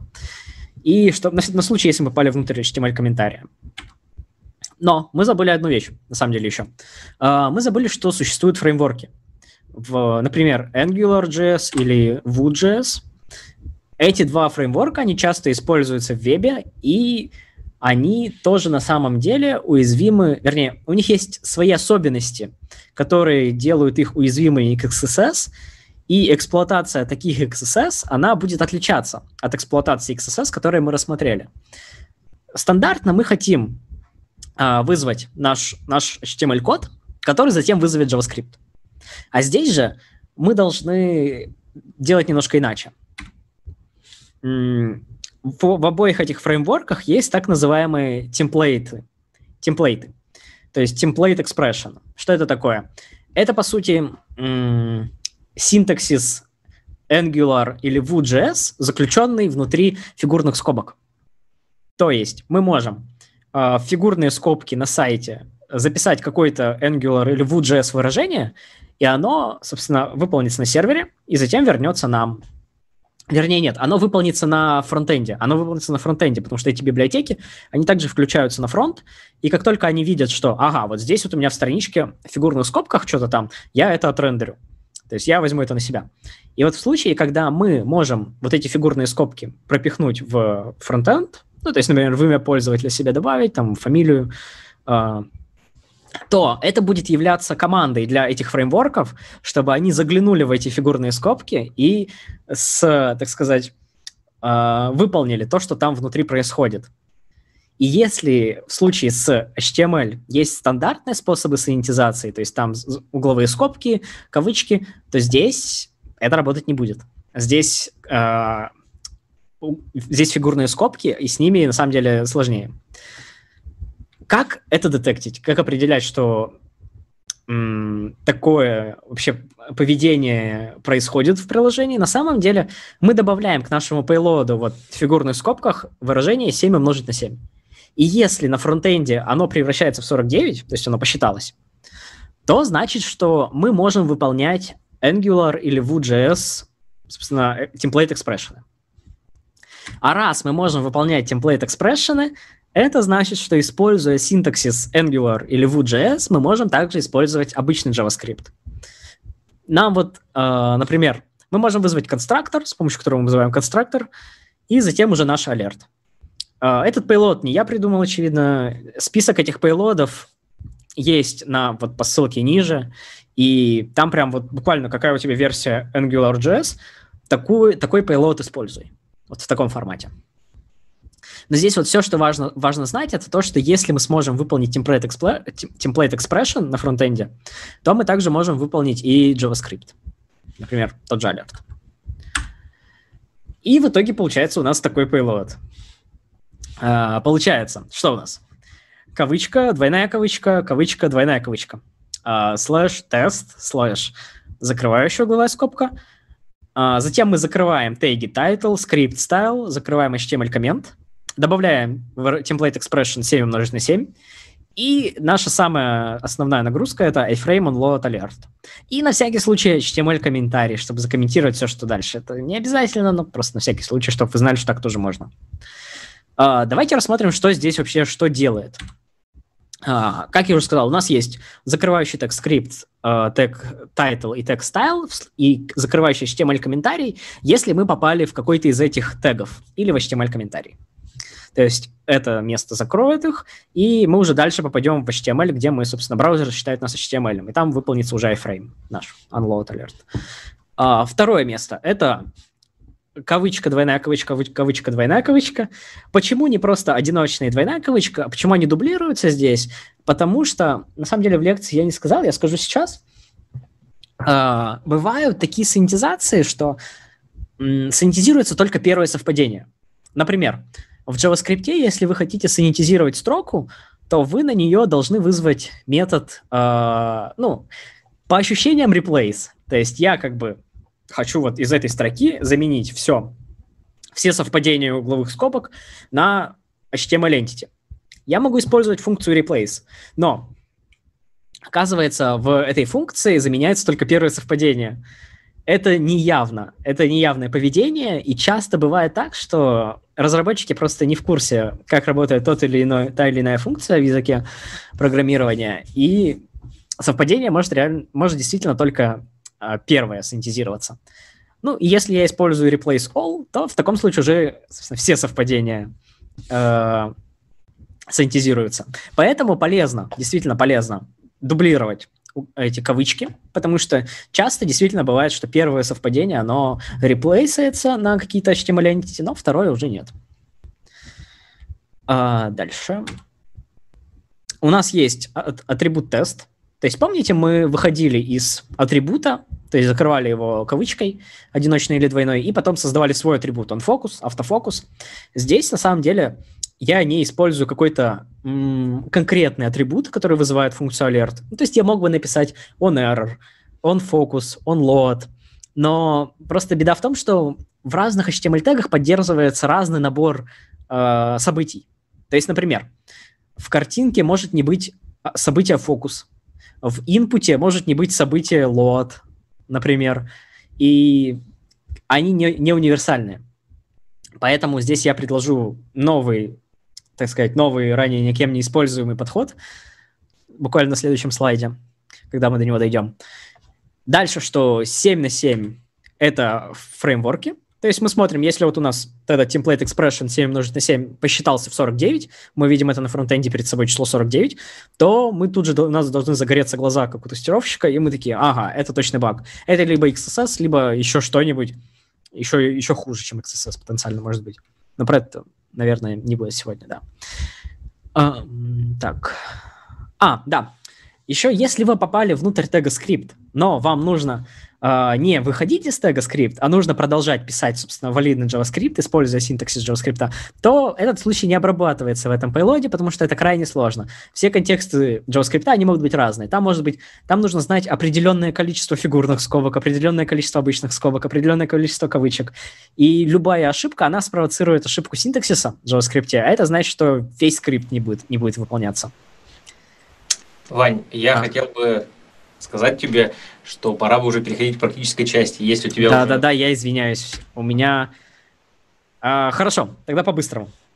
Да, а, на самом деле существует очень много полиглот пейлодов. Вот то, что мы составили, вот это, это полиглот пейлод. Он полиглот, потому что он попадает во все, э, во все контексты. Э, в общем, тут я говорю про то, что мой пейлод самый крутой, э, потому что он включает всякие дополнительные проверки. И здесь, если мы включили атрибут тест, то мы можем его раскрутить, например, используя JavaScript код, но про это, видимо, уже я не успею рассказать. В принципе, это и не обязательно знать. Достаточно, если вы увидели, что вы записали свой атрибут, то так, то, то вы можете выполнить JavaScript легко, используя обработчики событий. Просто для каждого элемента надо подобрать свой обработчик. Так, XSS на самом деле опасно, как я уже говорил. Вы можете воровать чужие данные, вы можете модифицировать чужие данные, вы можете воровать куки, вы можете воровать сессионные данные. А, вы можете выполнять, вернее, тянуть данные с других страничек. Например, вы получили XSS на страничке профайл, но хотите украсть данные со странички secret. Вы это можете сделать, используя Ajax запросы, то есть XHR. А, в общем, это все опасно, и вы можете чужие данные получить. Также в JavaScript есть прочие фичи, это а JavaScript может взаимодействовать с другими расширениями. Есть экспериментальные технологии, которые кучу возможностей открывают. Ну и, конечно, это все небезопасно. А, так, тут... Да, выводы. Вот. Для тестировщиков выводы такие, что используйте универсальный payload, ищите XSS-уязвимости, не бойтесь в каждый input, в каждое текстовое поле, в каждый параметр HTTP запроса, в каждый параметр URL запихивать этот payload и смотреть в ответ – что у вас, собственно, есть, а, если там XSS-уязвимость или нет. И живите с пониманием того, с мыслью о том, что в любом приложении всегда есть XSS-уязвимости. Вот. Это очень полезно, это действительно помогает при поиске, потому что не всегда вы сразу прям сходу найдете XS-уязвимость. Возможно, вам придется немножко потрудиться, поперебирать формочки, посмотреть разный функционал своего приложения, но рано или поздно вы на него наткнетесь, это гарантированно. И тут у меня вопросы. Конечно, эту часть, она получилась очень быстрая. Что, Дим? Uh, ну, давайте ребята, переходим. Или вопросы? Вот секундочку. Вот если сейчас ребята uh, напишут какие-то вопросы... Да, у вас очень мало времени. Да, очень мало времени, потому что мы немного выбиваемся из графика. А И если uh, вопросов не будет, то я считаю, что пора перейти к практике. Давайте так, ребятушки, если вы только начнете писать, я скажу, так, ждем, ждем, ждем. Ага. Вопросов? Вопросов нет. Отлично. Давай начинать. Все, всем понятно. В общем, пилот у нас крутой. Пилот вообще бомба.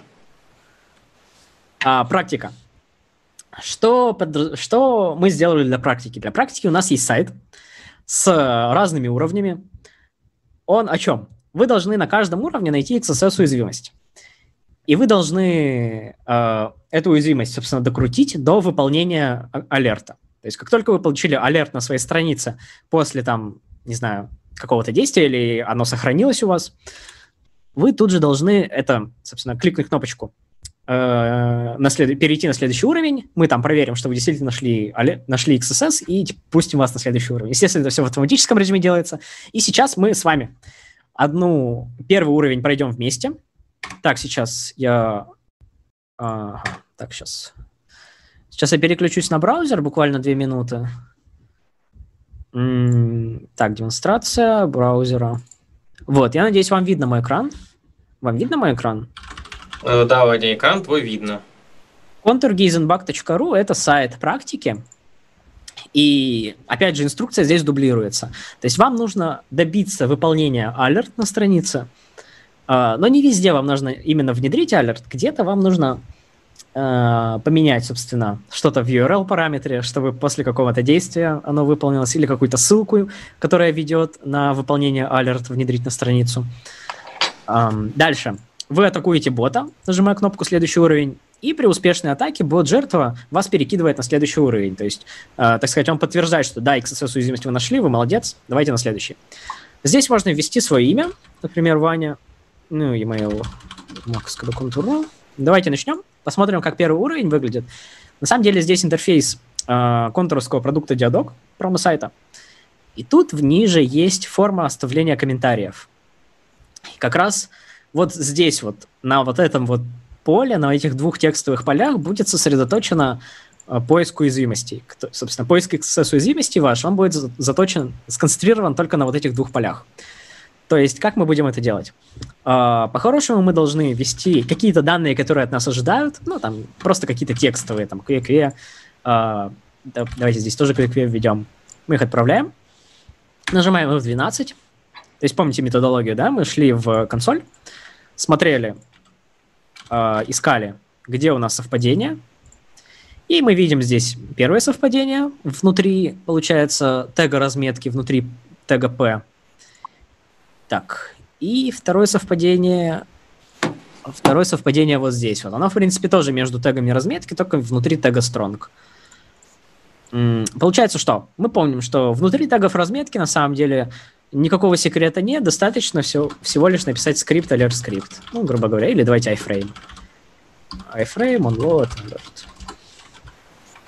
Ну, давайте закроем iframe на всякий случай, чтобы ничего не поехало. Мы отправляем, и опа, что мы видим? Мы видим то, что окошечко всплыло. А, даже два окошечка, потому что у нас два поля, и оно в два разных места подтягивается. Соответственно, мы два раза вызываем alert, вот они. И чтобы убедиться, что это действительно XSS, что это stored XSS, мы должны обновить страничку. И при загрузке этой странички мы видим, что ага, действительно. Дальше что? Дальше мы кликаем «Дайте мне следующий уровень». Бот проверяет, что вы действительно шли XSS, и нас перекидывает на следующий уровень. Вот так это работает. И сейчас вам предстоит перейти на сайт contourgizenbug.ru. А, да, еще я должен вам показать, что на самом деле тут есть... Э, тут есть еще страничка, где вы можете посоревноваться с другими пользователями. А, она уже выведена. Да, да, да, она выведена все уже на... А, нет, не выведена. Нет, извиняюсь. В общем, страничка Leaderboard PHP. И те, кто наберут больше всех баллов, здесь, кто по, больше всего по уровню продвинутся, они получат какие-то подарки от нас. Я бы хотел сказать, первые четыре человека. Не... Да, пер- первые четыре. Первые четыре человека. Вот. А, теперь мне бы как-то вернуться... Вернее, мне бы как-то скинуть презентацию. Как это лучше сделать можно? Просто сейчас людям, наверное, ну, захочется где-то вернуться к презентации в какое-то место, посмотреть. Ваня, ты можешь скинуть его в телеграм-чатик. Ага, в телеграм-чатик, отлично. Сейчас, одну секунду. Вот, все... сайт, сайт вам нужен контур Гейзенбак. Ты можешь скинуть все. Во-первых, э, площадка уже в телеграм-чатике, а вот презентацию и payload, самое главное, ты уже можешь скинуть сейчас. И ребята, обладая этим payload, могут я скину только... Там не везде, не везде можно пройти payload ом, чтобы был какой-то соревновательный момент, на самом деле. Вот а, видите, ребята, казалось да. бы... Где-то вот, надо подумать. Где-то надо подумать самому. И дашборд. Ссылочку на дашборд тоже кидай в Телеграм. Да, да, да, да, точно отличная идея. Я в Телеграм закину тогда ссылку на практику, ну, сразу вместе с ссылкой на дашборд. Там вы сможете э, посмотреть, собственно, как идут дела у ваших коллег на другом конце страны. Дима, ты замьючен. Дима, тебя не слышно.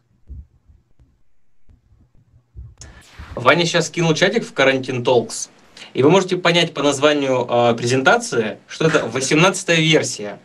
18 версия презентации. Понимаете, мы с каждым разом вот вытачивали и добавляли, э, ну, плюс один к версии. Так вот, получается, квинтэссенцию какого-то чистого знания. Ну, это стоит ценить. Так что... Да, ребят, давайте удачи вам. И если вам нужна помощь, пишите в чат. Мы здесь готовы даже один на один э, в отдельной комнате помочь вам с расшариванием экрана, если вам какой-то момент непонятен и, или что-то тяжело дается. Вот, мы готовы помогать. Вот, пишите. Встретимся с вами через час. То есть сейчас по Москве 18 часов 50 минут. Через час, получается, в 19 часов 50 минут мы будем уже подводить разбор задач. А после разбора какие-то итоги. И как сказал Ваня, не стесняйтесь задавать вопросы. Если что-то не получается, если вы столкнулись с какими-то сложностями и не понимаете, как пройти дальше, не стесняйтесь писать. Мы здесь для этого и собрались. А сейчас Ваня расскажет о том, как же надо было находить уязвимости и какие уязвимости вы не смогли найти. Ваня, поджигай. А, да, да, спасибо, Дим. На самом деле я расскажу просто как один из вариантов. На самом деле уязвимости можно было найти разными способами, но я покажу один из, самый простой. Я на самом деле, если честно, даже не помню наизусть, что как решается, поэтому я буду, можно сказать, по-честному вслепую с вами, как первый раз проходить. Так, первый уровень я здесь уже прошел, он был довольно стандартный, там достаточно было просто скрипт или скрипт ввести в имя и комментарий. Собственно, давайте посмотрим. Что у нас во втором уровне? Для начала я просто ввожу какой-то текст для того, чтобы понять контекст. С чем я имею дело здесь. Ага. Так, по какой-то причине у меня не хочет искать э, совпадение, вот этот вот хром. Но на самом деле здесь э, два раза попадает внутрь м, тегов разметки, то есть между strong и между p тегом. И один раз попадает вот сюда вот, в тег alt. Такое часто бывает, когда, например, картинка, там, аватарка не прогрузилась, разработчики хотят показать хоть что-то, например, имя этого пользователя. Для этого они в Alt пихают, собственно, имя этого пользователя. Это абсолютно нормально, часто такое бывает. И что я здесь попробую? Так как у меня есть два, два попадения в тег разметки, я добавлю наш iframe. Сработает, не сработает.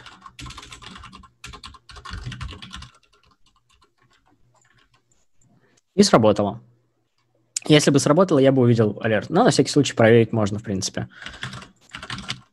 А, сейчас проверить, что оно заинкодилось, то есть edit as HTML. И да, мы видим, что угловые скобки на самом деле превратились в HTML entity этих угловых скобок, то есть ampersand LT, ampersand GT. Значит, уязвимость не здесь. Значит, нужно сконцентрировать свое внимание на вот этом alt. Для этого что? Э, достаточно выйти из, собственно, этого атрибута, для этого я добавляю одиночную кавычку, двойную кавычку. И я хочу через iframe вызвать алерт, я добавляю еще закрывающую угловую скобку. Сработало. Давайте посмотрим, что именно сработало. Ну да, двойная кавычка сработала. То есть у нас здесь остается одинарная кавычка внутри значения атрибута. Дальше мы закрываем этот атрибут, закрываем тег img и открываем iframe. Прикольно. Пойдем на следующий уровень. Так, здесь абсолютно все то же самое. Вводим QQ, смотрим, куда мы попали. Угу. Так. Не могу первое совпадение найти, какой-то баг в хроме. Ладно, ну неважно. В общем, здесь э, разница в том, что мы попадаем не только в теги разметки, а еще и в, внутрь тега скрипт. То есть, как мы помним, есть внутри тега скрипт два способа получить XSS. Первый — это закрыть этот тег скрипт и открыть какой-то свой HTML тег. Например, iframe. Ну и давайте так и сделаем. И на самом деле этим пейлодом мы попадем сразу в три контекста. То есть мы проверим автоматически вот эти вот два места, где у нас тег разметки, потому что туда iframe вставится. И заодно проверим вот это место, закры... попробуем закрыть тег скрипт. Ну, сразу сработало. Давайте посмотрим, что, что же сработало. Ну да, мы закрыли текст скрипт вот здесь. Вот можно увидеть, что вот этот текст, он вызвал ошибку на самом деле. Сейчас, так. Ладно, ошибок много, но, в общем, одна из них принадлежит именно вот к этому куску, то, что здесь возникла ошибка, это не, не выполнилось как JavaScript, но вы закрыли этот тег и открыли свой HTML тег iframe. Соответственно, он выполнил алерт уже. Так, следующий уровень, четвертый. Абсолютно то же самое. Вводим текст, смотрим, куда он попал. Так, но он попал опять же два раза внутрь а, тегов разметки. Это вот эти вот два места, они такие дефолтные. И новое место здесь — это тег style. Как мы помним, style тоже нужно закрывать, потому что все, что внутри тега style, это CSS. То есть браузер считает вот а, все, что вот внутри открывающего и закрывающего тега style как CSS, и никак не рендерит их как JavaScript или HTML. Для этого нужно закрыть оригинальный тег style и открыть уже свой тег iframe. Сработало. А, давайте на следующий уровень. Пятый уровень. Вот. Говорили, говорили многие, за, задержались на нем. Сейчас посмотрим, почему. Так, что у нас есть? У нас опять же тег разметки, тег разметки, и опять мы попадаем внутрь атрибута alt.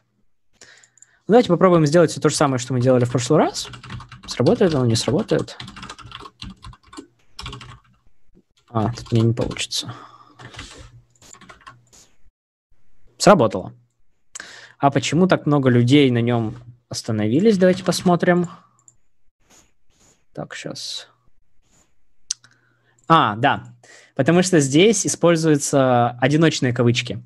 То есть, смотрите, а сейчас будет на самом деле еще одно объяснение сложной механики браузера, но независимо от того, какой... Вот, вот смотрите, я вам говорил, что мы открываем F12 и работаем с домом. Но мало кто знает... Не, наверняка многие знают, что код страницы можно смотреть еще через Ctrl-U или просмотр кода страницы. Вот так вот, View Source. И здесь, если мы посмотрим на вот это место, как оно называется, New Comments Info User Pick, вот, мы увидим, что... Эм, так, подожди. А, нет, здесь тоже двойная кавычка. Да, здесь немножко я облажался. Здесь двойная кавычка. Да, в общем, одиночная кавычка тут ничего не делает. Мы закрываем двойной кавычкой атрибут, и дальше э, наша угловая скобка энкодится. То есть нам нужно подобрать обработчики событий, чтобы запустить здесь э, JavaScript. У тега img есть такой атрибут.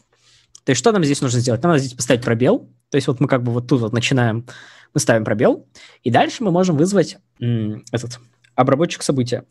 У EMG это есть onError. Давай onError, например, alert одиночными.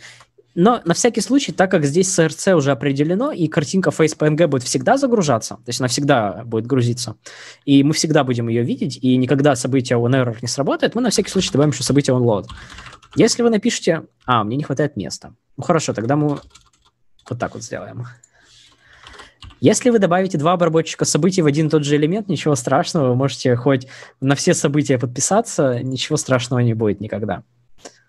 Ну вот, один из этих, один из них сработал.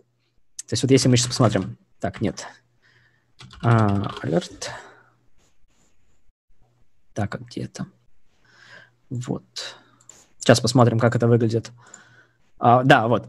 То есть мы вышли из атрибута alt и создали свои атрибуты onError и onLoad. Один из них всегда будет работать, потому что картинка не может ни загрузиться, ни не загрузиться. Это невозможно. Она либо загрузилась, либо нет. То есть одно из двух событий всегда срабатывает. И, соответственно, оба мы подписываем все эти события, и если событие происходит, то выполняется алерт. Попросим следующий уровень. Надеюсь, это всем понятно. Если непонятно, пишите в чат. Дополнительно рассмотрим. Так, шестой уровень. Тут я уже вообще не помню, что было. Так, смотрим. Так, мы попали внутрь тега разметки. А, мы попали внутрь этого, тоже тега разметки. И мы опять попали в alt. И вот здесь как раз, как я помню, ну, смутно, а, будет работать абсолютно все то же самое, и сейчас я объясню, почему. Так, мне опять не хватает символов.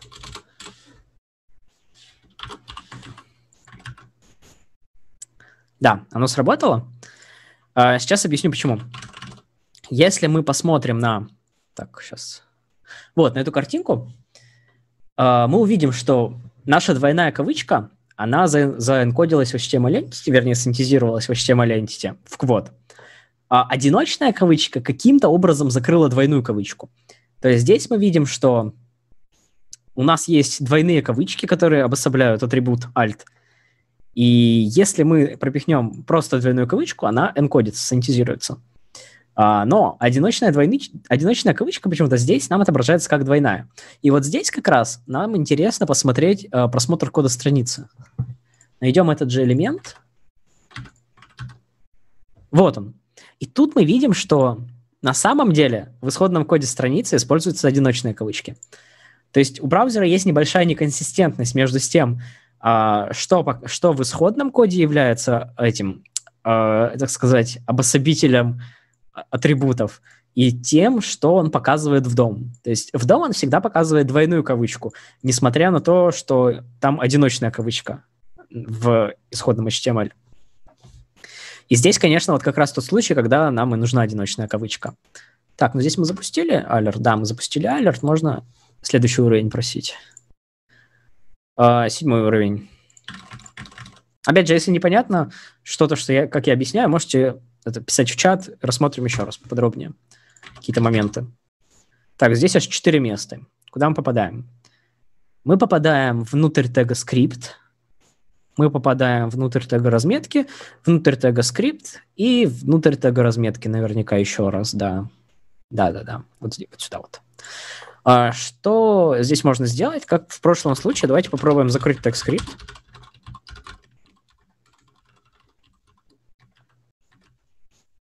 Не закрылось. Не сработало. Почему? Надо посмотреть. Угу. Да, у нас заэнкодились угловые скобки, и из-за этого мы не смогли, собственно, вставить наш закрывающий текст-скрипт. Но, как мы уже знаем, на самом деле э, не обязательно закрывать текст-скрипт для того, чтобы выполнить нашу функцию желаемую JavaScript. Достаточно продолжать писать текущий JavaScript, и здесь я вижу, что мы попали внутрь обозначения переменной. Так, ну-ка, я сейчас увеличу, если кому-то не видно. Вот, я извиняюсь, что не сделал этого раньше. В общем, вот здесь мы попадаем в... Ладно, поменьше. Вот здесь вот мы попадаем внутрь обозначения переменной, которая обозначается, вернее, обосабливается одиночными кавычками. И тут уже мы можем увидеть, что одиночные кавычки, они как бы закрыли вот это вот место, и здесь должно возникнуть а, синтаксическая ошибка. Мы убедимся. Так, сейчас, секунду. Unexpected Identifier. Скорее всего, это оно. Да, это оно. Вот, здесь возникла JavaScript ошибка, и она нам даже в консоли отобразилась. Соответственно, этот код не выполнялся. Наша задача в этом случае продолжить JavaScript вот с места, где мы начали одиночную кавычку писать, вот отсюда, таким образом, чтобы это, эту ошибку подавить. То есть что мы делаем? Мы пишем переменная query, э, одиночная кавычка, точка запятой, это важно. Э, далее alert вызываем, точка запятой, это важно для синтаксиса, и два слэша. Два слэша — это закомментирую все, что дальше. Таким образом, получается у нас такой payload, мы его вставляем, он отрабатывает. Да, он отрабатывает нормально, и просим следующий уровень бота. Так, уровень 8. Тут у нас что? Да, здесь нам нужно обратить внимание на то, что у нас в урле появился параметр redir – что оно означает? Обычно параметр типа redir, redir, return URL, еще какой-нибудь там back URL, они все работают двумя способами. Первый – это они редиректят сразу, то есть Uh, вот, этот вот, вот эта страничка видит, что ей передан, передан параметр redir, и она тут же редиректит просто как иди дальше, типа вот 302 код ответа, вот твой location, вот это вот место, HTTPS contour иди туда. Или или редирект может происходить после какого-то события. Например, после нажатия кнопки «назад» или «вернуться». А, здесь было бы странно, если бы редирект был сразу при переходе, потому что нас никуда не средиректило. На всякий случай ведем https, не знаю, example.com. Может быть, нас редиректит. Нет, нас не редиректит. Давайте попробуем оставить комментарий. Тут нас редиректит. А, надо посмотреть, что, почему это вообще произошло. Ну, мы для начала, естественно, поищем э, наши эти строки QQ. Но мы видим, что есть два совпадения. Это вот как раз два совпадения, это как раз вот эти вот два места. То есть вот первое место тут, второе место тут. Давайте их быстренько проверим. Есть ли там отсутствие санитизации на эти символы? Так, нас опять перекинул на example.com. Видимо, эта штука работает так, что после того, как ты отправил сообщение, тебя редиректит на адрес, указанный здесь. Соответственно, как я уже говорил, а, давайте еще раз посмотрим, кстати, найдем этот example в странице. Мы его не видим. А, значит, он где-то в JavaScript, в JavaScript кладется. Соответственно, что мы можем сделать? Мы можем попробовать ввести JavaScript alert сюда и попробовать просто засобмитить. Алерт выполнился. То есть после клика на эту кнопочку срабатывает какой-то ивент, который перекидывает нас на адрес, указанный здесь. И так как мы видим алерт, значит, оно происходит на стороне JavaScript. Ну, соответственно, бот, естественно, заточен под этот, этот случай, и он вернет нам уровень, как только мы ему передали в параметре redir JavaScript alert. Так, это какой уровень? Уровень 9. О, здесь появился Markdown. Uh, здесь, на самом деле, тоже подобный способ эксплуатации, но здесь мы хотим оставить ссылку. То есть мы хотим оставить ссылку, например, на example.com, первую, и вторую ссылку мы хотим э, оставить на JavaScript alert. Но вместо кавычек, вернее, вместо скобочек мы хотим здесь указать бэктики. Потому что, я напомню, если мы здесь укажем скобочки JavaScript alert, то вот эта вот скобочка, которая закрывает фун- при вызове функции alert, она закроет вообще э, URL, собственно, на который эта ссылка должна вести. И у нас получится, что адрес, на который ведет эта ссылка, JavaScript, твоеточие, alert, открывающаяся скобочка, но без закрывающейся, потому что э, закрывающая, она не попала под вот эту вот, под проверку. Соответственно, я использую бэктики. Отправляю. И смотрим. Кликаем первую ссылку. Нас перекинул на example.com. Вторую ссылку получили, собственно, алерт. Ну, этого уже достаточно для того, чтобы боту сдать задание. Получили следующий уровень. Это какой? Это десятый. Так. Посмотрим, что здесь. Ну, здесь попадают всего лишь в два места, и эти места это как раз вот это вот э, имя и комментарий. Собственно, что можем сделать? iframe unload alert. Угу. Обрезалось. То есть мы ему э, четко ввели QQ iframe unload alert, но он его обрезал. Здесь мы еще не знаем, на каком уровне он, собственно, вырезает вообще эти, вот это вот iframe and load alert и по какому принципу. Для этого что мы сделаем? Мы откроем вкладку Networks и посмотрим, какой HTTP запрос отправляется. То есть, если кто-то сейчас первый раз об этом слышит, я расскажу быстро. А, каждый раз, когда мы кликаем кнопку «Отправить», на сервер отправляется HTTP-запрос, который содержит... Так, сейчас. А, вот он. Так, надо поменьше сделать.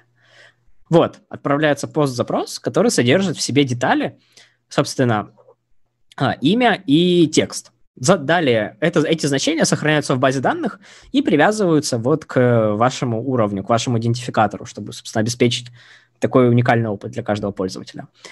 И здесь мы видим, что в параметрах в запросе оно отправляется как есть, никак не обрезается, никак не синтезируется, а значит, что проверка происходит, вернее, обрезание происходит, э, этой строки происходит на серверной стороне. То есть сервер принимает вот этот вот HTTP-запрос, такой видит, ага, тут какой-то iframe, какой-то HTML тег, я его вырежу. Вырезает его из строки и сохраняет в базу уже вырезанным. То есть там просто вот слово QQ, без вот этого тега. Здесь что мы можем подумать? Мы можем подумать, а по какому принципу вообще оно понимает, что ему надо вырезать из строки, а что нет? На ум приходит какая-нибудь регулярка. Например, все, что между, соответственно, все, что подходит под паттерн открывающая угловая скобка, что-то там закрывающая угловая скобка. Давайте попробуем. Для этого... А, да-да-да. А, под паттерн, типа, открывающая угловая скобка, все, какой-нибудь текст и закрывающая угловая скобка. Тут мы что хотим? Мы хотим убедиться, А, просто для этого создадим какой-нибудь тег QE. Если он вырежется тоже, значит мы правы. Угу. Он вырезался. Если бы мы видели вот этот вот тег QE, который не является настоящим HTML-тегом, э, соответственно, способ, которым сервер определяет, какой текст вырезать, он был бы другой. Там, например, если вот это именно HTML тег, если это именно тег iframe или тег script, то вырезаем его. Но так как QA тоже вырезался, значит, там какая-то универсальная регулярка, наверное. Но для такой регулярки, я уже говорил, у нас есть тег iframe, который не обязательно закрывать. Собственно, как раз для таких случаев мы не хотим закрывать наш тег никогда. И оно работает. Вот, просим следующий уровень. Получаем 12. Так, это 12. Нет, это 11. Но он, кажется, последний. Так, смотрим. Опять же, как всегда, набираю QQ, отправляю и смотрю в этом в коде, в сколько мест оно попало, в какие контексты. А, нет, 12 уровней, 12 уровней, да, извините. Наврал немного. Так, и здесь мы попали внутрь HTML-комментария. Как мы уже знаем, чтобы выйти из HTML-комментария, надо выйти из HTML-комментария, написав закрывающий, собственно, значи... закрывающий символ для HTML-комментария, это два дефиса и закрывающая угловая скобка. И дальше уже можно писать наш uh, payload. Сработал. Достаточно было выйти из HTML-комментария. И даже вот этот payload, он сработал бы и на другие контексты тоже потому что они в тегах разметки, вот, имя, имя и комментарии. Так, последний уровень, 12 На этот раз точно последний. А, все то же самое, QQ, отправляем. Ищем, в какие места у нас ставилось. Так, на самом деле, в три места. В три места вставилось. А, в теге разметки – вот в два тега разметки и в Alt. Опять в Alt. Картинки. Ну, давайте попробуем все, что мы знаем. А, так. Вот примерно такой payload. То есть мы что попробуем здесь? Мы попробуем попасть в два тега разметки, вот не закрытый iframe and load alert. Мы попробуем выйти из атрибута одиночной кавычкой, двойной кавычкой. Мы попробуем записать наш атрибут Q мы попробуем выйти из IMG, и оно должно, в принципе, попасть в все три этих контекста. Сейчас посмотрим. Так. Не попало. Не выстрелило. Давайте разбираться. Так, у нас вот есть Alt. Ага. Да, в Alt э, попали наши кавычки, но двойная кавычка синтезировалась в квот. То есть она не является двойной кавычкой для браузера. Соответственно, все это значение – это просто текст alt атрибута. Оно никогда не выполнится браузером. Дальше мы смотрим на два других контекста. Здесь м- синтезация тоже есть. Тоже есть синтезация. Но один момент. Мы видим, что все синтезируется, и идей нет на самом деле больше. Как вообще можно э- как можно получить XSS в этом месте? Вроде бы все безопасно, все секьюрно, наш payload нормально вставился, но я упоминал, что иногда бывает, редко, редко бывает, что э, синтезация проводится только по первому совпадению. Здесь же мы эту ситуацию никак не рассматриваем. Поэтому мы добавляем еще одну кавычку, одиночную и двойную кавычку. Мы добавляем на всякий случай еще по одной угловой скобке. И попробуем так сработало. Видимо, здесь тоже синтезация была только по первому, э, по первому совпадению. Ну да, да, да. Вот, у нас получается как? У нас была первая кавычка, которая синтезировалась, и вторая кавычка, которая не синтезировалась. Скорее всего, это из-за того, что разработчик не подумал, разработчик не почитал документацию и использовал функцию replace вместо replace all. И из-за этого допустил XSS уязвимость. Так. Ну и все, я прошел игру.